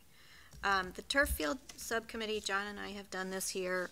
Um, that will be a very active committee for the upcoming year, and that typically meets in the mornings, sometimes in the evenings, but most often in the mornings. Um, so Kathy, so for new ones, senior center you mentioned, which I think I would be a great idea, um, just to make sure that they're in the loop about opportunities available to them at the schools. We do have that policy um, that provides them Yep. No Free access Yeah. to everything. no admission. Um, the center school reuse committee, I don't know if you've had any communications from the town manager, but I believe there's a school committee liaison, That they want, non-voting member. yes. Mm -hmm. Um, and it hasn't started yet, so we don't know the meeting schedule. We have talked about the Chamber of Commerce, and I think that you have really been our liaison to the Chamber of Commerce, although they often meet at the times that you have administrative Correct, Um, always. meetings. So it might be best to, uh, to assign that to one of us, Yeah, since think that'd be we do not have to go to admin council meetings. Um, Then I also just, uh, the enrollment and capacity um, subcommittee is on our agenda for later, but that's, um, that's something that we'll likely meet during the day, I would say, Mm-hmm. right? Um, And then the final thing that I wrote on my list was just the Gasgate project. Um, Kathy and I, I happened to hear about it at a meeting that I was at that that Senator Spilka held, and so I've been following it, as has Kathy. It doesn't have to, to continue to be me, but I think it, um, it's gonna be a, a critical thing to follow, so I think it would be good to designate one of us to, um, to really stay on top of that. So unless there are other suggestions, that should be our whole list, right? Yeah. I, I don't know if it makes sense to the school committee for that to be a combined planning board slash Gasgate. I mean, I see those both, those projects as both being around communication, around projects going on in town. Um, I, I don't know in terms of the steps, if we would have heard about it sooner through the planning board, John? Well, that's still unclear to me, but I, I actually wondered if that was a connection, if the connection there was actually more, um, given the stage of the discussions, if that's legislators. Yeah. Because it seems like, Okay. uh, th- that Senator Spilka and Rep. Dykema are driving a lot of that conversation They are. at this point right now, so it, it doesn't feel like there's, again, it's an awareness thing, but I wonder if it's more of the legislative liaison at this point, and Okay. we revisit if it becomes Yeah, something. and I, I did, I attended a Board of Selectmen meeting a couple of weeks ago, um, and then this was part of the email that we received this week, um, from a community member about the Gasgate. Uh, Brian Herr had mentioned setting up a- sort of a smaller committee to work, to follow this more closely and, and to work on it, and that would include somebody from the schools, um, member of the Board of Selectmen, a member of the public, the, the abutters. Um, so it was really in terms of, I should have explained that better in the first place, but it was in terms of that, that I was thinking that we should pick our person, and obviously it would be Kathy as well. Um, If that's the case, I would agree. I think it probably then begs a separate person. Yeah. Yeah. Okay. Jean, could you s- speak a little bit about, you know, you talked about the community communications and likely expanding that a little bit. And, you know, going to what Dr. McLeod was talking about, how it's disappointing to see comments being posted on Facebook. So could we look to, you know, kind of expand that a little bit, the communication aspect to see how can we encourage that the direct communication happen and it's not happening on social media or, you know, um, how can we look at other means of communication within uh, our systems? If there's an easier way and just look at various ways. And I think we had also heard from um, the CPAC uh, group that, you know, they have to go to various places to get some of the information. Could we have some kind of a feed of all the events that are happening, things of that nature? If we can expand that uh, a little bit to see if that would be something to explore. Yeah, I think that's fine. We could, we could, um, I mean, in the past, this is also, we do actually have a school committee communications policy somewhere, Right, Um, right. which probably, we could probably take a look at that and update it, but in addition, in the past, that person has just taken a, a little while to go through all the website pages and make sure things are still current and just kind of give a fresh set of eyes as well. And I think sort of feels like, like we're leading towards maybe we need a community calendar of events that is easily accessible so people know, like, I missed the Pops concert or the art show or all, all of those, all the plays that we have in addition to sports. I mean, there's so many opportunities to come and check out what the students are doing at every level um, that it's hard to keep up with. And so maybe if we can focus that in a more centralized place that's not the overwhelming school calendar that also has like reading day or I don't know, things that aren't relevant to to everybody. night. Back to school night. Um, so yeah, I mean, I think if you all are in agreement, we could, we could talk about fleshing out the communications role, um, for this year and, and seeing Okay. what we can do with that. So, okay, so that's a long list. Um, I guess, I don't know, what's, what's the easiest way to start? Is there, does anybody not have avail- availability at all during the day? Like, I know you're a teacher, Jen, I don't know what your schedule is. I am, but I do have, um, because I, I am only half-time, I have some daytime availability. Okay. Yeah. Okay. Um, so are there any, I don't know what's the best way to do this, are there any that in- are particularly interesting? I mean, I do think if it's all right with everybody, I, I, it's my preference to leave John as the voting member on ESBC. He's been there from the Makes beginning. sense, Um, Absolutely. but I do think we should add a second person. There'll be some transition um, toward the end of the project that will be necessary, and always good if, if John's not able to make the meeting, just to have a second person there in addition to Kathy. So is I there don't know if I- anybody? We mentioned this, those meetings are typically evening meetings. Evening? Yeah. Yeah. Is there anybody that's interested in the building committee? They had a pig roast. That was pretty Did have- they- We did have a pig roast, I Well, forgot to now for mention sure, that but- before. yeah. That changes I know. things. I, I am interested in the building committee, s- um, so if you want to put me on, if anyone has any, unless you have. The Yeah. pig roast. Yeah, well, the pig roast sealed the deal for me, That was but over the even edge. before you said that, I No, was, no, no. yeah, I would love to be the, the, s- the non-voting. Yeah, Okay, Got it. that works for me. all right. Um, contract negotiations. I did this the last time, there, uh, Lori and I did it the last time. I think it might be helpful in terms of consistency if I do it, but obviously if one other person, one other person needs to, to do it with us. Um, and it's not scary, our attorney is there, and it's a, it's actually a very formalized process. Um, so it- it's, it's, you can do it, it's not hard.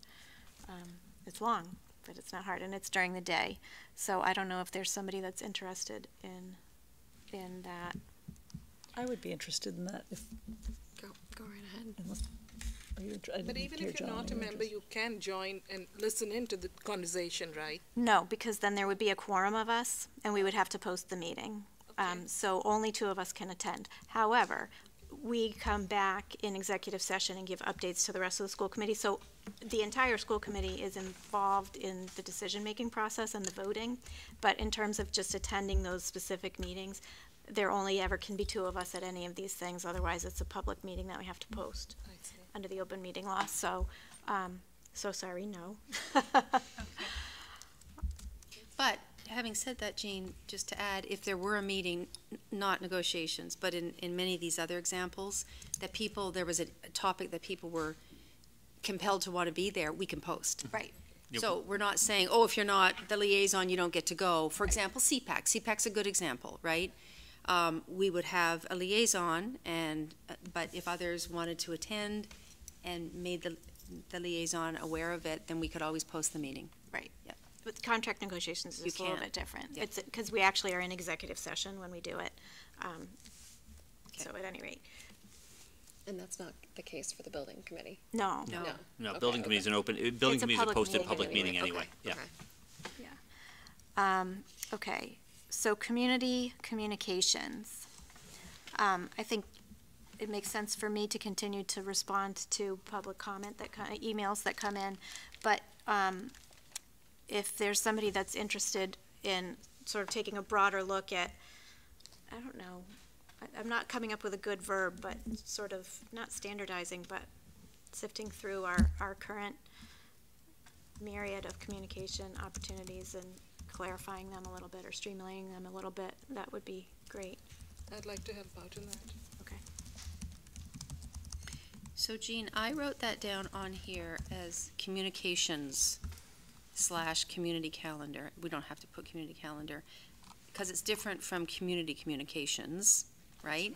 How do you want to clarify the difference between those two roles? Well, why don't you just, instead of calling the chair the media spokesperson, just say the committee spokesperson, and I think that covers media as well as emails that are received, and then you can just take me off communicate, community communications. That's, that works. That could be Mina. Um, does that work for everybody? Yep. Mhm. Okay. Minutes review?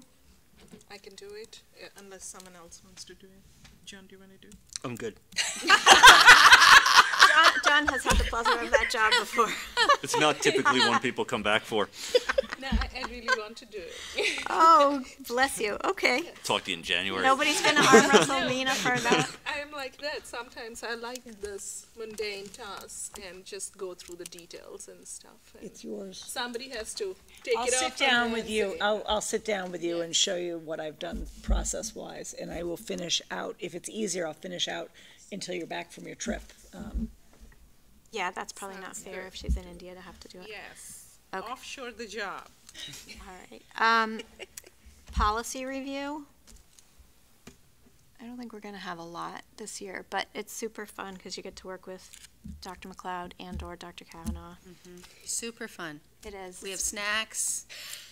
No pigs, though. I want my pig roast. I mean, If I you want jumped on the pig pig roast, roast, I'm of gonna be course, really- so yeah, I'm happy it's more the like budget nuts. review. Uh, Nuts. I will, well, I, Like I, I fodder. will say about that is I'm happy to do it again, but I, I did find coming on for my first year, it was a good way to learn Yeah, about that, so I would offer that to you guys first if you wanna okay. take that. I'm happy to, because you've got the minutes. That's Yes, work sounds intensive. good. So yes, absolutely. that would be Okay, good. so Jen will do that. Yeah.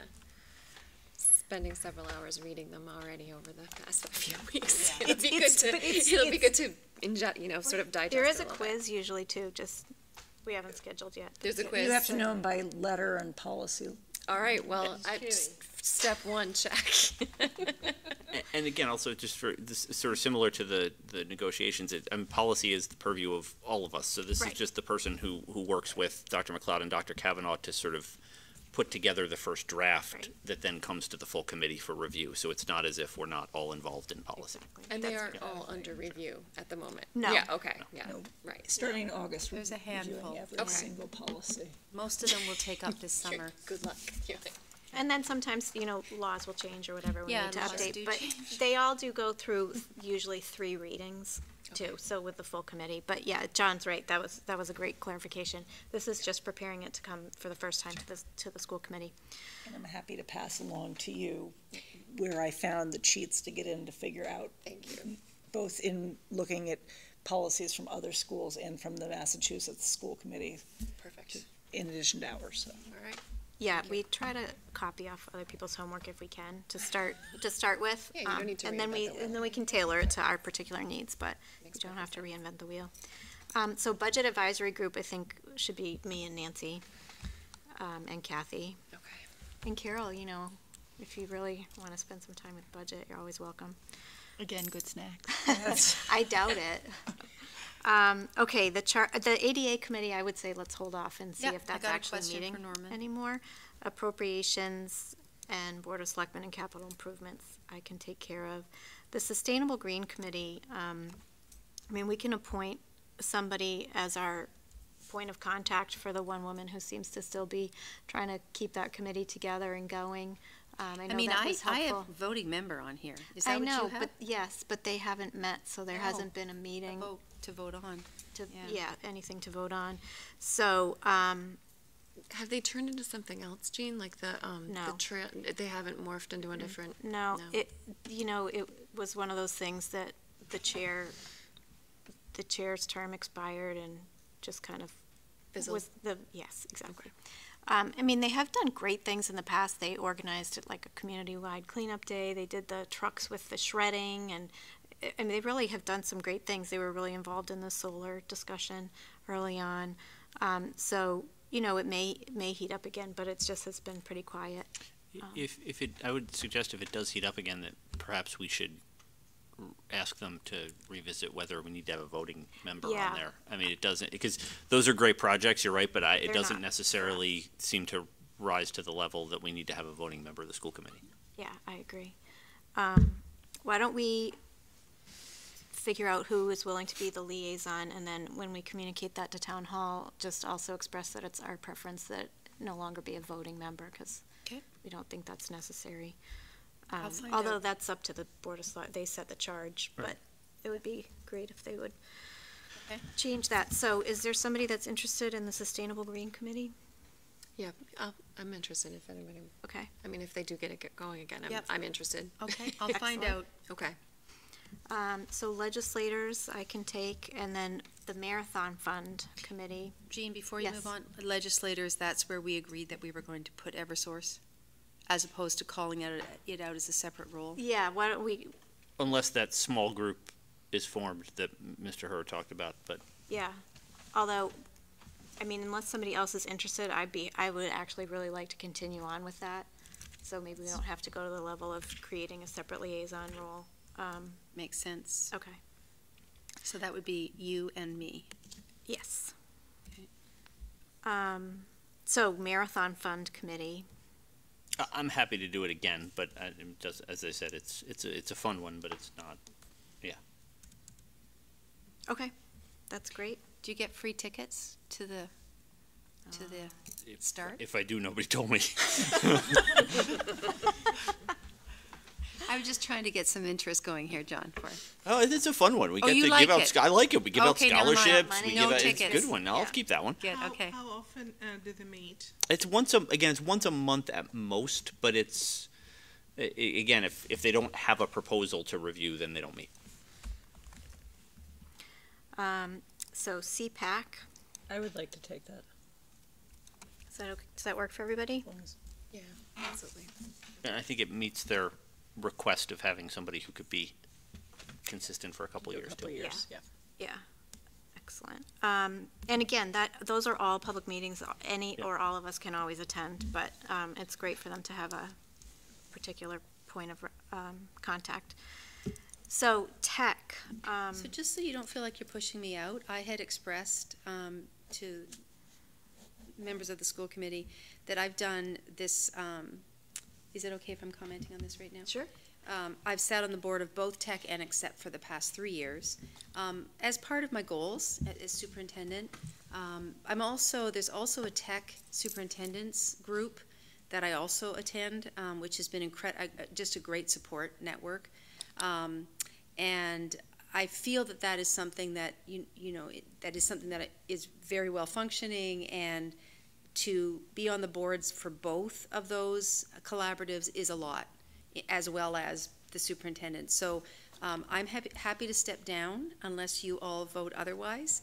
But I didn't want you to think that you were pushing me out if one of you would be really wanting to be a voting member. So I should state that. I will just put in a plug. I, I was this liaison for years, and it has been so helpful to me in terms of learning about school committees in general. It's, uh, it- they only meet every other month, and um, so TEC is one of our collaboratives, uh, which is where we get a lot of our special education resources. They do a lot of professional development. They do these job-alike groups for assistant superintendents, superintendents. Um, but at the end of the board meeting, they have a job-alike group for school committee members, and that's where I have found just such great resources and other school committee members across um, our, our peer districts. So I really highly recommend, I mean, I'm happy to do it again, but I've done it for probably seven of my nine years, so I'm happy to have somebody else do it. But they, like I said, they meet eight, at eight fifteen in Walpole on Friday mornings, every other month. I'd like to go. Okay. Um, Youth Commission.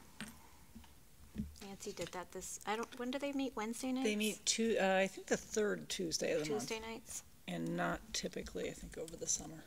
Okay. I know Tuesdays do not work for me. I, I'd be interested in that one. If Okay. Um, Planning Board, I'm sorry, that was you, John? that was Yep. John. Planning Board, so this is really, these are televised, so you could watch and not attend. It's really mostly monitoring their agendas and keeping tabs on when there are big new developments um, coming online. Not that we necessarily can sway or affect that, but we need to prepare for it and haven't always been in the loop. Um, I, I would suggest too that one of the things that has necessitated this role in the past has been inconsistent communication. Um, and so while it might make sense to have a liaison, given some of the changes that have occurred recently on the planning board, this also just might be a really good opportunity to establish a, a more formalized communication, ch- well, reestablish, because I'm pretty sure there's a policy, um, more formalized communication channel so that we as a committee, because really this role becomes about watching the planning board and making sure there's nothing that we think could end up adding kids to the school system, which are things that I believe by town policy they're supposed to notify us of anyway. Right. And so it might, it, that may be a way to solve and not need this liaison. Um, Yeah. so. I thought that, you know, you also hear a lot of other things that may be happening, like they were talking about the water tank, Yes. right? Right. So, Yeah. um, and I think you had also proposed a capacity Yep. um, subcommittee. So would it make sense for someone who's there on the subcommittee for the capacity also be the liaison on the planning board, so kind of hearing That's, you? that's probably a logical Yeah, I mean, it's, connection. yeah, there, there would be value in that, in that connection, again, understanding, I mean, if theoretically, again, if they're reporting to us all of the proposed developments, we'll have that data as a Right, committee. Right. Um, so, I mean, it might make sense to still have a liaison, I just, I, regardless, I still think that there's an opportunity to reestablish that so that we Right. can have better channels of communication, so that it's really a liaison and not trying to chase everything down. Well, and Dr. McLeod has done a great job of inviting them to come and speak to us pretty much annually since she's been here to give us, uh, all five of us, an update, um, which ha- I think has really been helpful. But I'm also, as I'm listening to this, thinking, you know, sometimes this affects like bus route planning and all of that stuff when we know things are coming online or about when they are coming online and that kind of thing. Because I think this year, we had to start picking kids up at the Mews. Hopkinton Mews in the middle of the year. So that involved either an additional bus or change of bus routes, and so that was a little bit complicated. Um, so I take your point about having it, having one person be on the planning board uh, liaison as well as, um, at least one, if we have two, of the enrollment and capacity subcommittee. So, um, does it make sense to postpone that until we talk about that committee? Why don't we do that? Sure. Okay. Um, Irvine Todaro, I'd like to keep that. okay, Consistency is a good thing for that one. yeah. Um, turf field, um, I, you know, I'd like to keep going with it. I would too. Yeah. Um, Seems like consistency is good for that group. I think so, except that both of us are th- in the third of our three-year terms. Well, so maybe as it gets f- closer to the end of the year, it would make sense to invite Yeah. somebody to join you to kind of piggyback on if needed. Yeah, Yeah, because I think eh, you're right, but the, the sort of the big Hopefully it bogey be a c- problem. occurs before our, before the end of that term in Right. terms of town meeting and, the- eh, so, um, We can at least see it through that process. And you're both voting members, right, on that one? yes. Mm-hmm. As And, am and I. I think you said it's one of those meetings where anybody can go. Oh, it's an, Oh, it's a public absolutely. meeting, yep. So, so I think to your point, if you do decide not to run, then, you know, someone can start shadowing. Or if people early. don't vote for us. That happens. We're just starting. Um, Come I on. know. It's a long way away. It's another year's problem. Okay, so that, that sounds good, so we'll continue. Um, so adding a senior center liaison, Yes, I wanna be the Um, center school reuse, did you want to do that one, Jean? I just said, um, senior center, did you get that one? I'm sorry. And Mina just raised have a her hand. order. That's okay, It's sorry. my Mina. favorite place. Okay, we got you then. Um, You got it. Yes, center school reuse. Um, Makes me sad. I'll, I'll volunteer for that one if there isn't a huge interest. I know. Sure, Inquire on snacks first. yes. It's not even formed yet. Yeah. I know. I'm giving off the wrong vibe here, I think. Oh, no. Oh, no. You got policy. Yeah. That's right. Yes. Um, so Chamber of Commerce, That is a really interesting role, and um, again, it, it's simply because of the conflict. They meet Tuesday mornings, as does admin council, and the principals already are planning next. They've they've actually one of the principals told me today that she has scheduled her PLCs around having Tuesday mornings open. So this is something that's just been a, you know, and but it's super interesting. Um, there's very interesting people that that come to the chamber meetings. They're doing all sorts of things. I learned a lot being on the chamber um, because of just that's another whole side of, of what's going on in town that I don't necessarily had wasn't necessarily aware of. So um, I And think Do they meet every, once a month or twice a month, or what is their? they meet once a month at the ex- at eight o'clock on Tuesday mornings. Yeah, I would take that if, if the rest of you are not sounds good. inclined. Okay, and then, um, and then enrollment and capacity. The, one other thought that I have, and I don't know if it really rises to the level of a liaison, but as we're talking about this, the marathon school and the center school reuse, I really think it's important that we have some kind of a, a formal opportunity to say goodbye to the center school mm.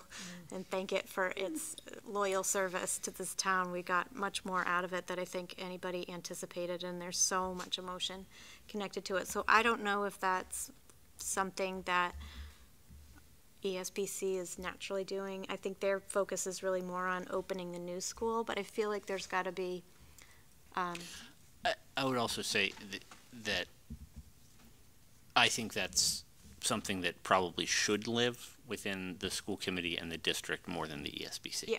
that's fine. But I think, Yeah. but I want to make sure that we are thoughtful about that and we don't wait until the last minute and go, uh-oh. Oh, I completely agree with that. to Yeah. Decommission it in a meaningful. Yes, exactly, exactly. So that's actually something I would love to do unless other people are dying to, to do that.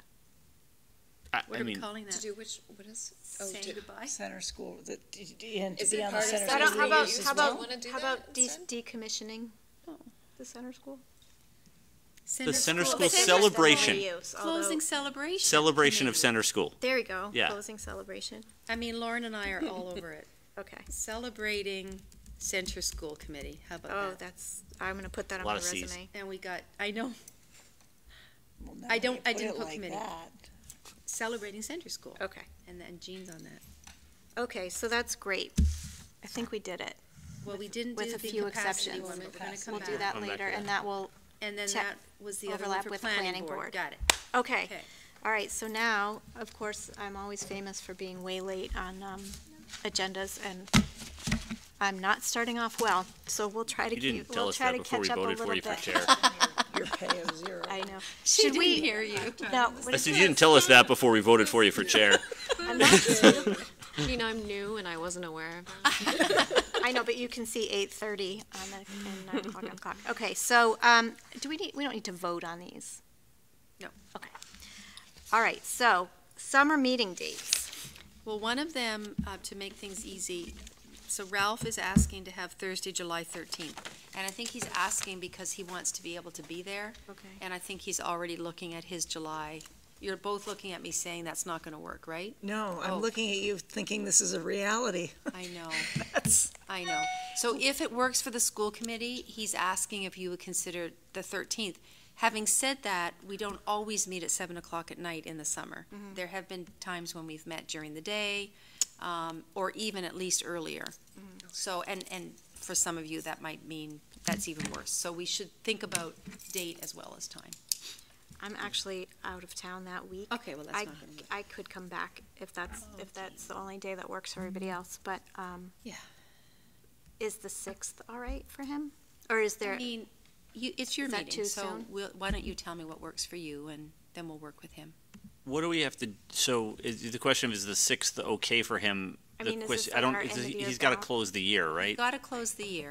So that's why I'm Maybe the wondering, is he sixth gonna is be able, too soon. six might be That's too too soon. soon. That's the thing, it only gives him five days. I mean, Really? the- we only usually meet once in July, so we could Yeah. meet on the twentieth. or, I mean, yeah, that whole week is, is he still here? He's here like part, part of the, of the week, Okay. during those weeks. Um, Carol and I are at, at MASS, uh, that third, on the nineteenth and twentieth. What the K- about the seventeenth or eighteenth? We don't have to meet on That's Thursday. perfect. Shake it up a little bit. Seventeenth, The eighteenth. seventeenth or eighteenth? That works for me. Okay, do you want to just, Okay. is- okay, so Which, which one? Do you want to confirm with Ralph, or does it Um, matter for him? I mean, I think if I give him enough notice, he can work around it, but probably he would prefer Tuesday over Monday. Okay, so let's A do long s- weekend. Yes. July eighteenth. I would say yes. Semi-retired Ralph will Yes. attend the Yeah. meeting. Okay, so eighteenth, do you have a preferred time? I know when you have young Um, kids, five o'clock is not a great time. Yeah, I mean, we can make it, it's one day. We can make it work. If you want to go earlier, that's fine. Whatever you. With enough notice, I'm fine. Okay, You want to do six? Six, is So perfect. it's a little bit earlier, but not, okay, Okay. Great. okay. I think I mentioned to a few of you, would this be a good time to talk about my travel? Yes, Um, so I, I need to travel and visit my mother, and um, I haven't seen her in a year and a half. And so um, it might be, if she agrees and her health permits, we might travel back early. It might be a few weeks. If not, it will be the entire summer. But I do intend to dial into all the meetings, and I'll continue to access my emails and respond and whatnot. So I guess, um, you know, in case I am in India um, on July 18th, um, 6 p.m. What time that's- is that? That's middle of three the night. thirty, it's three thirty in the morning. 3:30 in Yeah. the morning. Oh, Okay. come on. Um, I think it's okay to not dial in at Yeah. three thirty in the morning. so, so if I am half hour late, would that be okay? Yes, Well, for that reason, should we just keep it we seven can do seven o'clock, Yeah. sure. I, I don't want to Make it that to be- thirty. Yeah, uh, I don't That's want it practically to the be middle of the con- a constraining factor here, but no, It seems absurd to It imagine does. you'd Yeah. wake up for three It thirty or does. four It would be like a snow day. Yeah. Yeah. thank you, thank you for accommodating. So seven? seven, sure. Ready? Okay. And then we need just one in One, August? one for August, yep. Okay, So may I ask, do we meet on the regularly, like the first and the third Thursdays in July? Okay. no. Okay. So that will be our only July meeting. We will be meeting, um, twice more in June, though, the eighth and the twenty-second. Great. Okay. So then we need an August meeting. Yep. Should we make it, try to make it a month? That makes sense. So what, what would that be, One, like the two. seventeenth? Although, It would be the fifteenth. We have a retreat, but we'd be back for the evening. The fifteenth, or, I mean. do we want to move, move it back to Thursday at that point, or do we want to keep 17th? Tuesday, or? I Are you don't- still on Doesn't your- matter to me. on I'm- retreat? Yeah. No, is that good? Yep. Okay, so we'll say August seventeenth at seven PM. Good. Okay. You better Um, block off your week vacation. And we typically, typically those, our summer meetings typically are not televised, and we usually have them in the administrative conference room and the administrative offices, so don't come Right. looking for us here. So still public That's meetings, but just not important to televised. Yes, Yes. okay. What, when did we put the 18th? So you will not find us in the high school at that time. Okay, Did, I'm sorry, did we say seven or six? seven, seven o'clock. So July eighteenth and August seventeenth, both at seven o'clock in the central office. July 18th. It would have been smart for me to put it on the And you calendar. thought, we'll, we'll to get you in. And I can't even invite you, but we need to your ta- get that taken care of tomorrow. together to get Tomorrow when you're in, remember. In the Yeah, I don't know Really, why. mine No, we'll get official. Mike to come over and Very fix you official. You have a mailbox over there Thank too. you. Oh, really? You will. Um, I haven't checked mine since last. So we said the Okay, seventeenth. thank you. Okay. Oh. All right, so now we are on the District Enrollment and Capacity Subcommittee. Dr. McLeod. Thank you. If you, if you don't mind, I, I wanted to, um, just get the school committee's opinion on, um, the most efficient way for us to do this work. So we know, you know, we've gathered a lot of information. We want to look, and I want to clarify that we want to look at capacity enrollment over our grades two through five buildings. Obviously, our, our K one building is not even going to be looked at. There's no, there's nothing there. Um, but when this was done last, um, it was called the Elementary Parity Task Force. And they were looking at, basically, it was made up of principals, parents, and teachers. Um, there were, there were at-large members from the community, um, and then members from each of the three elementary schools, both administrative and, and teachers, um, and parents from school councils. And what occurred to me is that it might be useful to the school committee for that, for a group which I would consider a task force, to first collect the information to bring to you. So it would be a presentation, we would work to uh, gather information, um, collect questions from the community, questions from the school committee, bring it back to you, and then form an advisory committee. It feels, it just feels like it would be more efficient, um, I- I- you know, in terms of the posting and the, all of those things, but working around, I want to get going on this. Um, and working around teacher and administrators' time between now and September can be challenging. Um, and it, it was interesting because most of the parents that served, it was in, we had a well at the time we called it Speak, but we had a CPAC parent, which of course we would want to have, and then the other parents, one from Hopkins and one from Elmwood, and one from we had an HPTA VP, and then we had school council members. Um, so I like the makeup of the, the, the task force that they had. There were one, two, three, four, five, six, seven, eight, nine, 10, 11, 12, 13. It looked like they were also an advisory to the superintendent because the superintendent was also not on the committee, but I would like to suggest to the school committee that I chair this committee. Um, I'm already very involved in all of this and, as you know, feel very strongly and passionately about it. Um, so I would love to chair the committee. Um, and then work with the two elementary principals, parents and teachers from within their buildings, um, members of, making sure that we include members of Speak and, and HPTA. So I put that out as an option. Um, the other way to go with this is to basically have a very similar makeup, but include school committee members from the very beginning and have it as an advisory committee to the school committee, um, much as the Calendar. comparison would be the, The calendar calendar committee. committee, but also don't we run, not turf? Is turf an advisory It's a committee? subcommittee. It's a subcommittee. Oh, subcommittee. it's a subcommittee, right, it's a subcommittee. Right. We did reach out to our lawyer friends. And we did find out that even if there is one, um, school committee member. We have to define it as a subcommittee. it is considered, yes, it's considered to be, um, a committee created by one person to do a job that person could have done himself or herself. For example, when the superintendent, who has the power to choose a principal, convenes a committee to advise him or her, that subcommittee is not subject to the OML. Um, bodies appointed by a public official solely for the purpose of advising the official on a decision that individual could make alone are not public bodies subject to OML.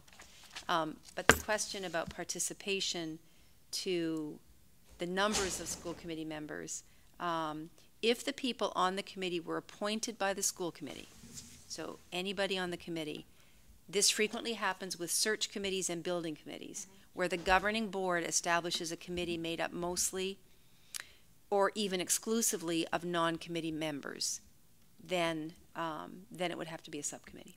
So it's, it's So- up to you. Sorry, I feel like I'm jumping in first every time, but. I'm gonna, I'm gonna do it anyway.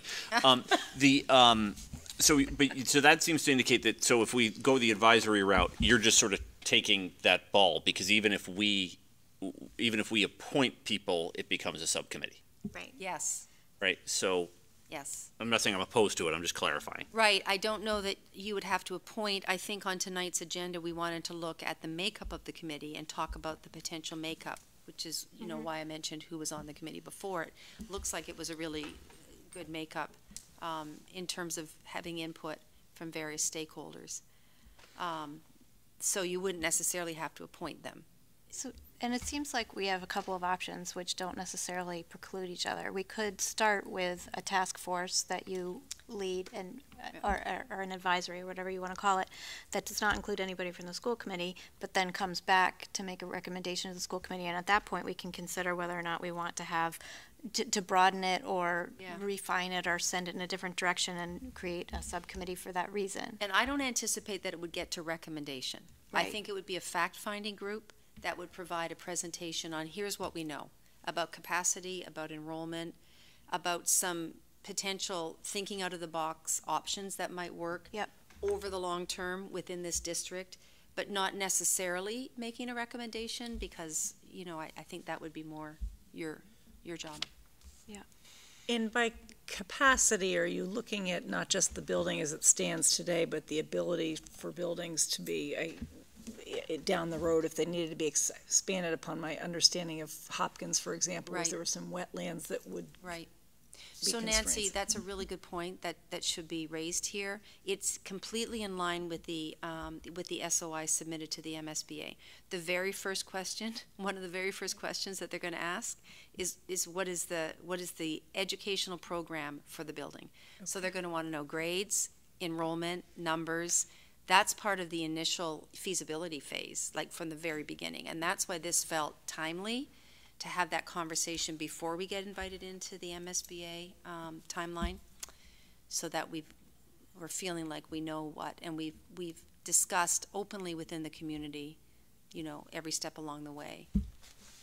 I think it brings up a good point. Nancy brings up a good point in asking that question, though, which is that I, I think where I'm circling around this is I, I, I like the idea of the task force just because I think of this the speed and and agility with which they can gather a lot of that information, you know, to utilizing expertise, not being bound by some of the the subcommittee processes. Um, I guess where I want to make sure we have clarity is on sort of the definition of the problem that we're trying to solve. And I think that's where I, I, I want to be, be, before we sort of launch into the task force. So, uh, uh, as an example, the questions that were popping into my head were similar to Nancy's in terms of what's the scope here? What are we talking about? And then included in that scope is not just of the physical plant of the buildings, but you mentioned we're talking about Elmwood, uh, the, the Elmwood and Hopkins specifically. Is this something that we are restricting to just elementary, or is this something that we should be including the, the middle school and, and high even the high school in, in the discussion? Um, So those and are, I'm, I'm not suggest, I just, I want to make sure before we do either of these that we've got a really tightly defined Yeah. uh, problem we're trying to solve. Right.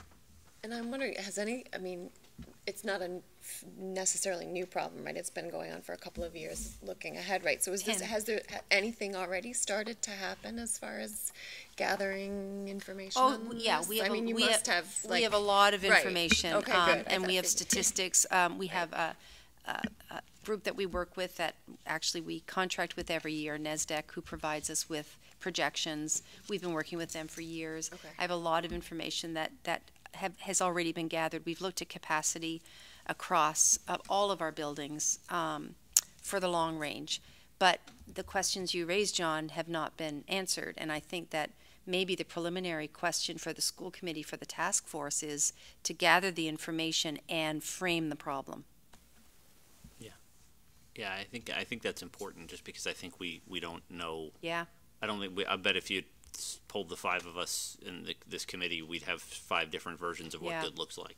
yeah.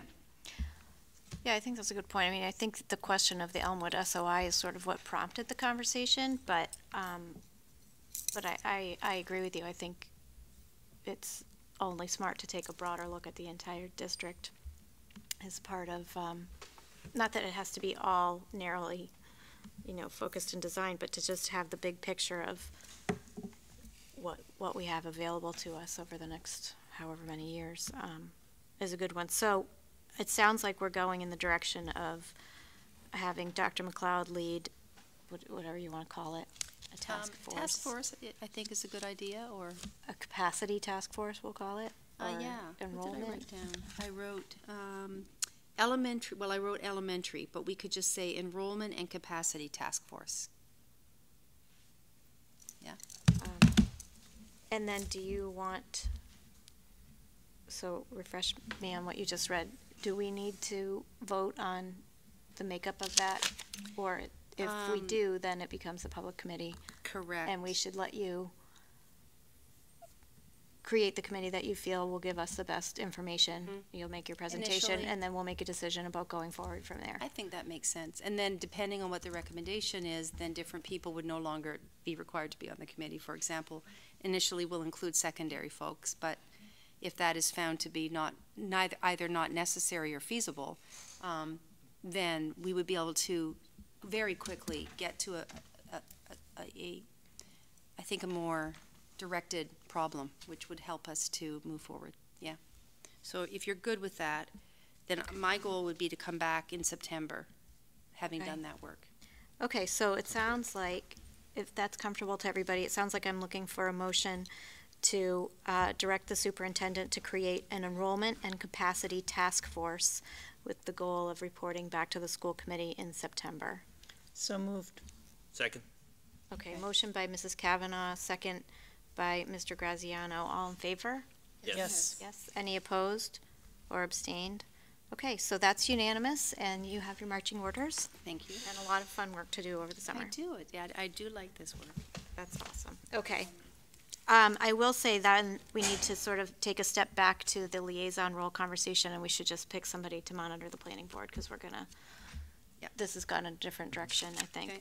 So is there somebody that has interest in, um, in being the planning board liaison?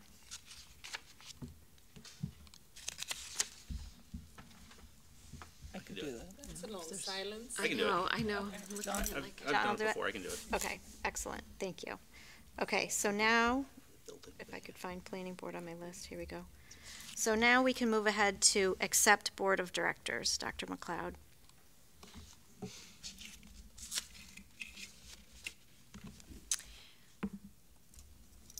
I'm, pausing because I'm trying to explain how, how different the two collaboratives are. Um, The TEC board is made up, I would say, pretty, pretty much half and half of superintendents and um, school committee members.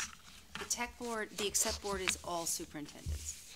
Um, And I don't know if tho- that's their bylaws and I it's a think it is. requirement? Okay. We've never been invited. Alrighty then, Yeah. there's the answer. Ever. I did look Um, on their website, yeah. you Only did? superintendent Yeah. stuff. Yeah. Yeah, um, they're going through a lot of changes. Um, it's, it's a board that, um, I think is really important that I remain active in. Um, I know Mina, you know, you were asking about, you know, the things that we, we take away from, from our work, and I think one of the things that we take away from working with both of our collaboratives is what a great job we do in this district of meeting the needs of kids. I mean, the needs of kids with significant um, special education needs so that they don't have to go outside of our district. Um, and we know that there are students whose needs we can't meet, um, and we do have two wonderful collaboratives.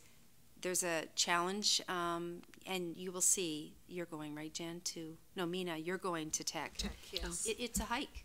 It's beautiful. Yeah. It's a beautiful facility, but it, it's a hike to get there. Yeah, well, Um, and so I think it, well, that clarifies it right there, is that, um, that I would continue to be representing the school committee, um, and the district as, um, a member of the board of directors for ACCEPT. They require a vote, um, in your minutes so that I can provide that to them in their next meeting, so that's why it's here tonight. Okay. And Megan did uh, share the annual report with us. Oh, I gave it to you. And it was, And I- it was amazing, it was very helpful Yeah. to know, uh, you know, all the good work that goes on. It's amazing to know that something like that exists and, you know, all the towns can collaborate. Yeah. And not, and nobody's ha- uh, having to do it individually. Right. And to have that place and that facility and that, Yeah. that's And the. ACCEPT is also moving into a new facility Oh, as well. exciting. Yeah, so there'll, there'll be a big invite this summer, ribbon cutting and everything, but Oh, they're, great. they're very excited about that. Um, okay, so I think it seems like I need a motion to appoint Dr. Kathy McLeod to the ACCEPT Board of Directors for the 2017-2018 school year. So moved. Okay, Second. Second. Uh, so, uh, motion by Mr. Graziano, second by Mrs. Cavanaugh. All in favor? Yes. Yes. Any opposed or abstained? So that passes unanimously. Congratulations. Thank you. Um, so the TEC voting member, uh, this also, we do need to vote and submit it to them for their, um, according to their bylaws. So since we have already decided this, I just need a motion to appoint Mina Barath as the voting member for TEC for the 2017-2018 school year. So moved. So, motion by Mr. Graziano and a second. Second. Can we, d- discussion, I had thought, I thought um, Dr. Dr. Kavanaugh Kavanaugh. was gonna be the the voting member, she was gonna be member. the I'm second so member. glad that you brought that up. Oh, And I I did, I did fill her in. So Jean brought to my attention that a requirement of TEC is that it be either the superintendent or a school Or a committee school member. committee member, Oh, I see. according to their bylaws, yeah. um, Although Okay. they would be very lucky to have Dr. Kavanaugh on their board of directors. I don't qualify. You do not qualify, Okay. believe it or not. Squad goals, that's what my kids say, though. Something to aim for. Um, but she, you did go to their, pl- their strategic planning meeting. I did, Last and interestingly, they asked me to vote so that I could be part of a quorum. Okay. Oh, no. Well, we won't tell. They're not as Um, clear on their own bylaws. So. Sorry, yeah, I blew right past One that. more point of discussion, we've typically had two people going. Are you gonna continue to go, you're gonna continue to go even the- as the non-voting member? I would like to. Okay. Sure. Just So wanna I make just we- want to ask that, do you think that I'm qualified to be a voting member? Yes. Yes. Okay. You will get the packet in, ad- you will get the packet in advance. Okay. Any questions, they have a really wonderful chair who is a school committee member. She's A amazing. long-standing school committee member. Any questions that you have prior to the meeting, um, you would just, you know, ask her in advance. Um, and so you will feel very comfortable with this group. And it's just a lot of accepting reports. It's Yeah. not like deciding the future of, Yes, and- Special and edu- that's why I'm asking, Yeah, that it- I'm going in new, and I don't want to be, uh, you know, I need to be fully aware, and Yeah, they have no. a Feel that I can wonderful, they have a on wonderful something. director, very, very, just fabulous director, a wonderful uh, finance director, a wonderful special education co- program coordinator. They, they just, they got it together. They're doing fabulous things for kids. And I'm sure I'll rely on Dr. Kavanaugh's, uh, sound go advice together. she there. can whisper in your ear. Yes, Yeah, okay, for sure. I just won't vote. Thank you. Okay, so now I'm looking for a motion to appoint Mina Barath as our voting member for the TEC um, Collaborative Board for the 2017-2018 school, school year. So moved again. Motion by Mr. Graziano in a second. Sure, so seconded again. Okay, and, oh yeah, because we did do that and then we had discussion, It's sorry. okay. This is what happens when it gets members, after we get nine o'clock. practice. Yeah, Yeah. It's we're important, learning. Get reps. All right, all in favor? Yes. Yes. Any opposed? And abstain. So that is unanimous, and congratulations, and thank you, Mina. Okay, so the school physician's contract, Dr. McLeod.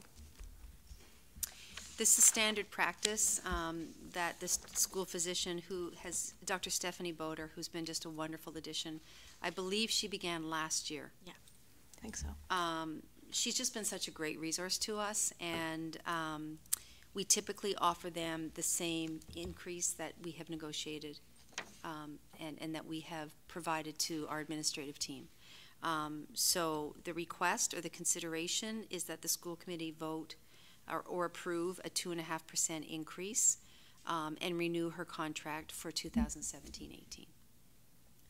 Any questions?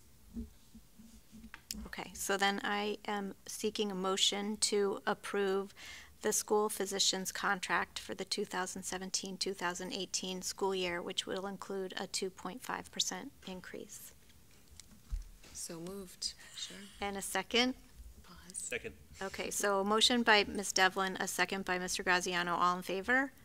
Yes. Yes. Any opposed or abstained? So that's unanimous as well. Um, can I ask a quick question on that, just to make sure we're procedurally okay? Do we need to vote to authorize somebody to sign the contract? This is the Because chair. typically with the contracts, we, Right. uh, we approve it and then authorize, I assume, Dr. That's a good McLeod? question. Do you It normally Says in sign the it? contract, the, the Hopkinton School Committee Chair. Oh, is it in here? In, So- I was gonna so say, then- given so- that it's a In renew- packet, yeah. renewal, That's right. Okay. Yeah, you're right, it is on there. All right, Here it so do you is. wanna guess just we- do a second motion to, It's do the I? chair. Okay, so I would move to authorize the, I'm wondering now if this is necessary, but I, I, but just in case. Better safe Um, than Yeah. sorry. I- I'll uh, m- move that the school committee authorize the chair to sign the school physician contract on the committee's behalf. Thank you. Uh, Second. Second by, so motion by Mr. Graziano, a second by Ms. Cavanaugh. All in favor? Yes. Yeah. Yes. And any opposed or abstained? So that's unanimous. And I think it's actually in the job description of the chair, but I'm not sure. So at least Yeah, we've covered our when it's bases. the chair, I would, I'm- agree with you, I'm not Yeah. sure you, ha- we have to, but. Good point. Covered. And, Just uh, trying to extend your meeting. And so what's written on, so, uh, the amount that's written on the, uh, in the Contract. package, Mhm. that's what, uh, is the final, is Yes. the increase, right? Six thousand seven hundred and seventy-seven dollars. That's, that's That's- the salary, not, that's the the that's a total- stipend, not total not the, to not exceed. the increase. Yeah. Yeah. Yeah, quarterly payments, yeah. Yeah. And the quarterly payment challenging is for one my eyes. thousand six hundred and ninety-four dollars and twenty-five cents. Exactly. Great, Thank You bet. Okay, um, so now we have arrived at our second opportunity for public comment, but the public has gone home. So unless one of you would like to make a public comment, we will move on to items by consensus. And I do want to just, um, point out before we do this to Jen and Mina. So this, Dr. McLeod will just read all of this and we'll approve it all together as a group, but we do have a practice that if there's, if there's anything in here that you have a question on and you'd like to hold out separately, um, you can do that and we'll vote on the rest and we'll go back to it. So, um, is there anything that anybody would like to take out of the items by consensus? I do have a question. I mean, um, Ms. Dumas tried to answer all the questions that I had asked. Um, there was one about the, uh, the limit on the checking account. That do we, uh, you know, bring it back to the hundred thousand even during the summer? Do we? How does that work? Should I hold off that question for Mr. No, Dumas? No, I, I, I think we do. I think see, that, I I think that we do. There's a lot of things that go on During over the summer, a lot of ordering that takes place um, in order to get things ready to roll, paper, I mean, there's just a lot of things that happen. So I think that they are able to keep their balance at that level, I see. no matter what time of the year. And now that he's kind of closing up the books for this year, Sure. I, th- I believe that that was a conversation that he had Okay. Um, recently with Mr. Bishop. I see. And, and typically at what point do you think of bringing it back, the half point? Yes. Okay, perfect. I just wanted to understand. They actually had it increased, right, school committee? They Yeah, we- recently we increased recently the amount right? Developed, because it didn't give them enough Yeah. Flexibility. we had to change it at the high school, school specifically, Yep. because they had so much money coming in and out for At testing once. and Yeah, all of that. that they were scrambling to try to balance that, you know, there just wasn't enough. And so it, it seems like a lot, except that when they need it, they didn't have enough. Right. Um, but, you know, he, M- Mr. Dumas would also, um, call out all the checks and balances that are in place, you know, particularly that he's reviewing all of it. You know, we're audited every few years, but, you know, as you can imagine, nothing gets past his checkpoint in terms of those balances and how the money's being spent. Um, yeah, Yes, I mean, this is the first time approving something, Yeah. public money. of Yeah. course. So just trying to understand, um, you know, Yes. even approving that small increase on that small amount was a big thing. And so this Good is for you. certainly a much bigger amount. And Yeah. so that's what I had requested, that if we can get a short course on how all the money moves, where it comes from, etc., Yeah. That would go a long way for the newbies. uh, You won't be the first. No. Th- That request happens Every every year. single year.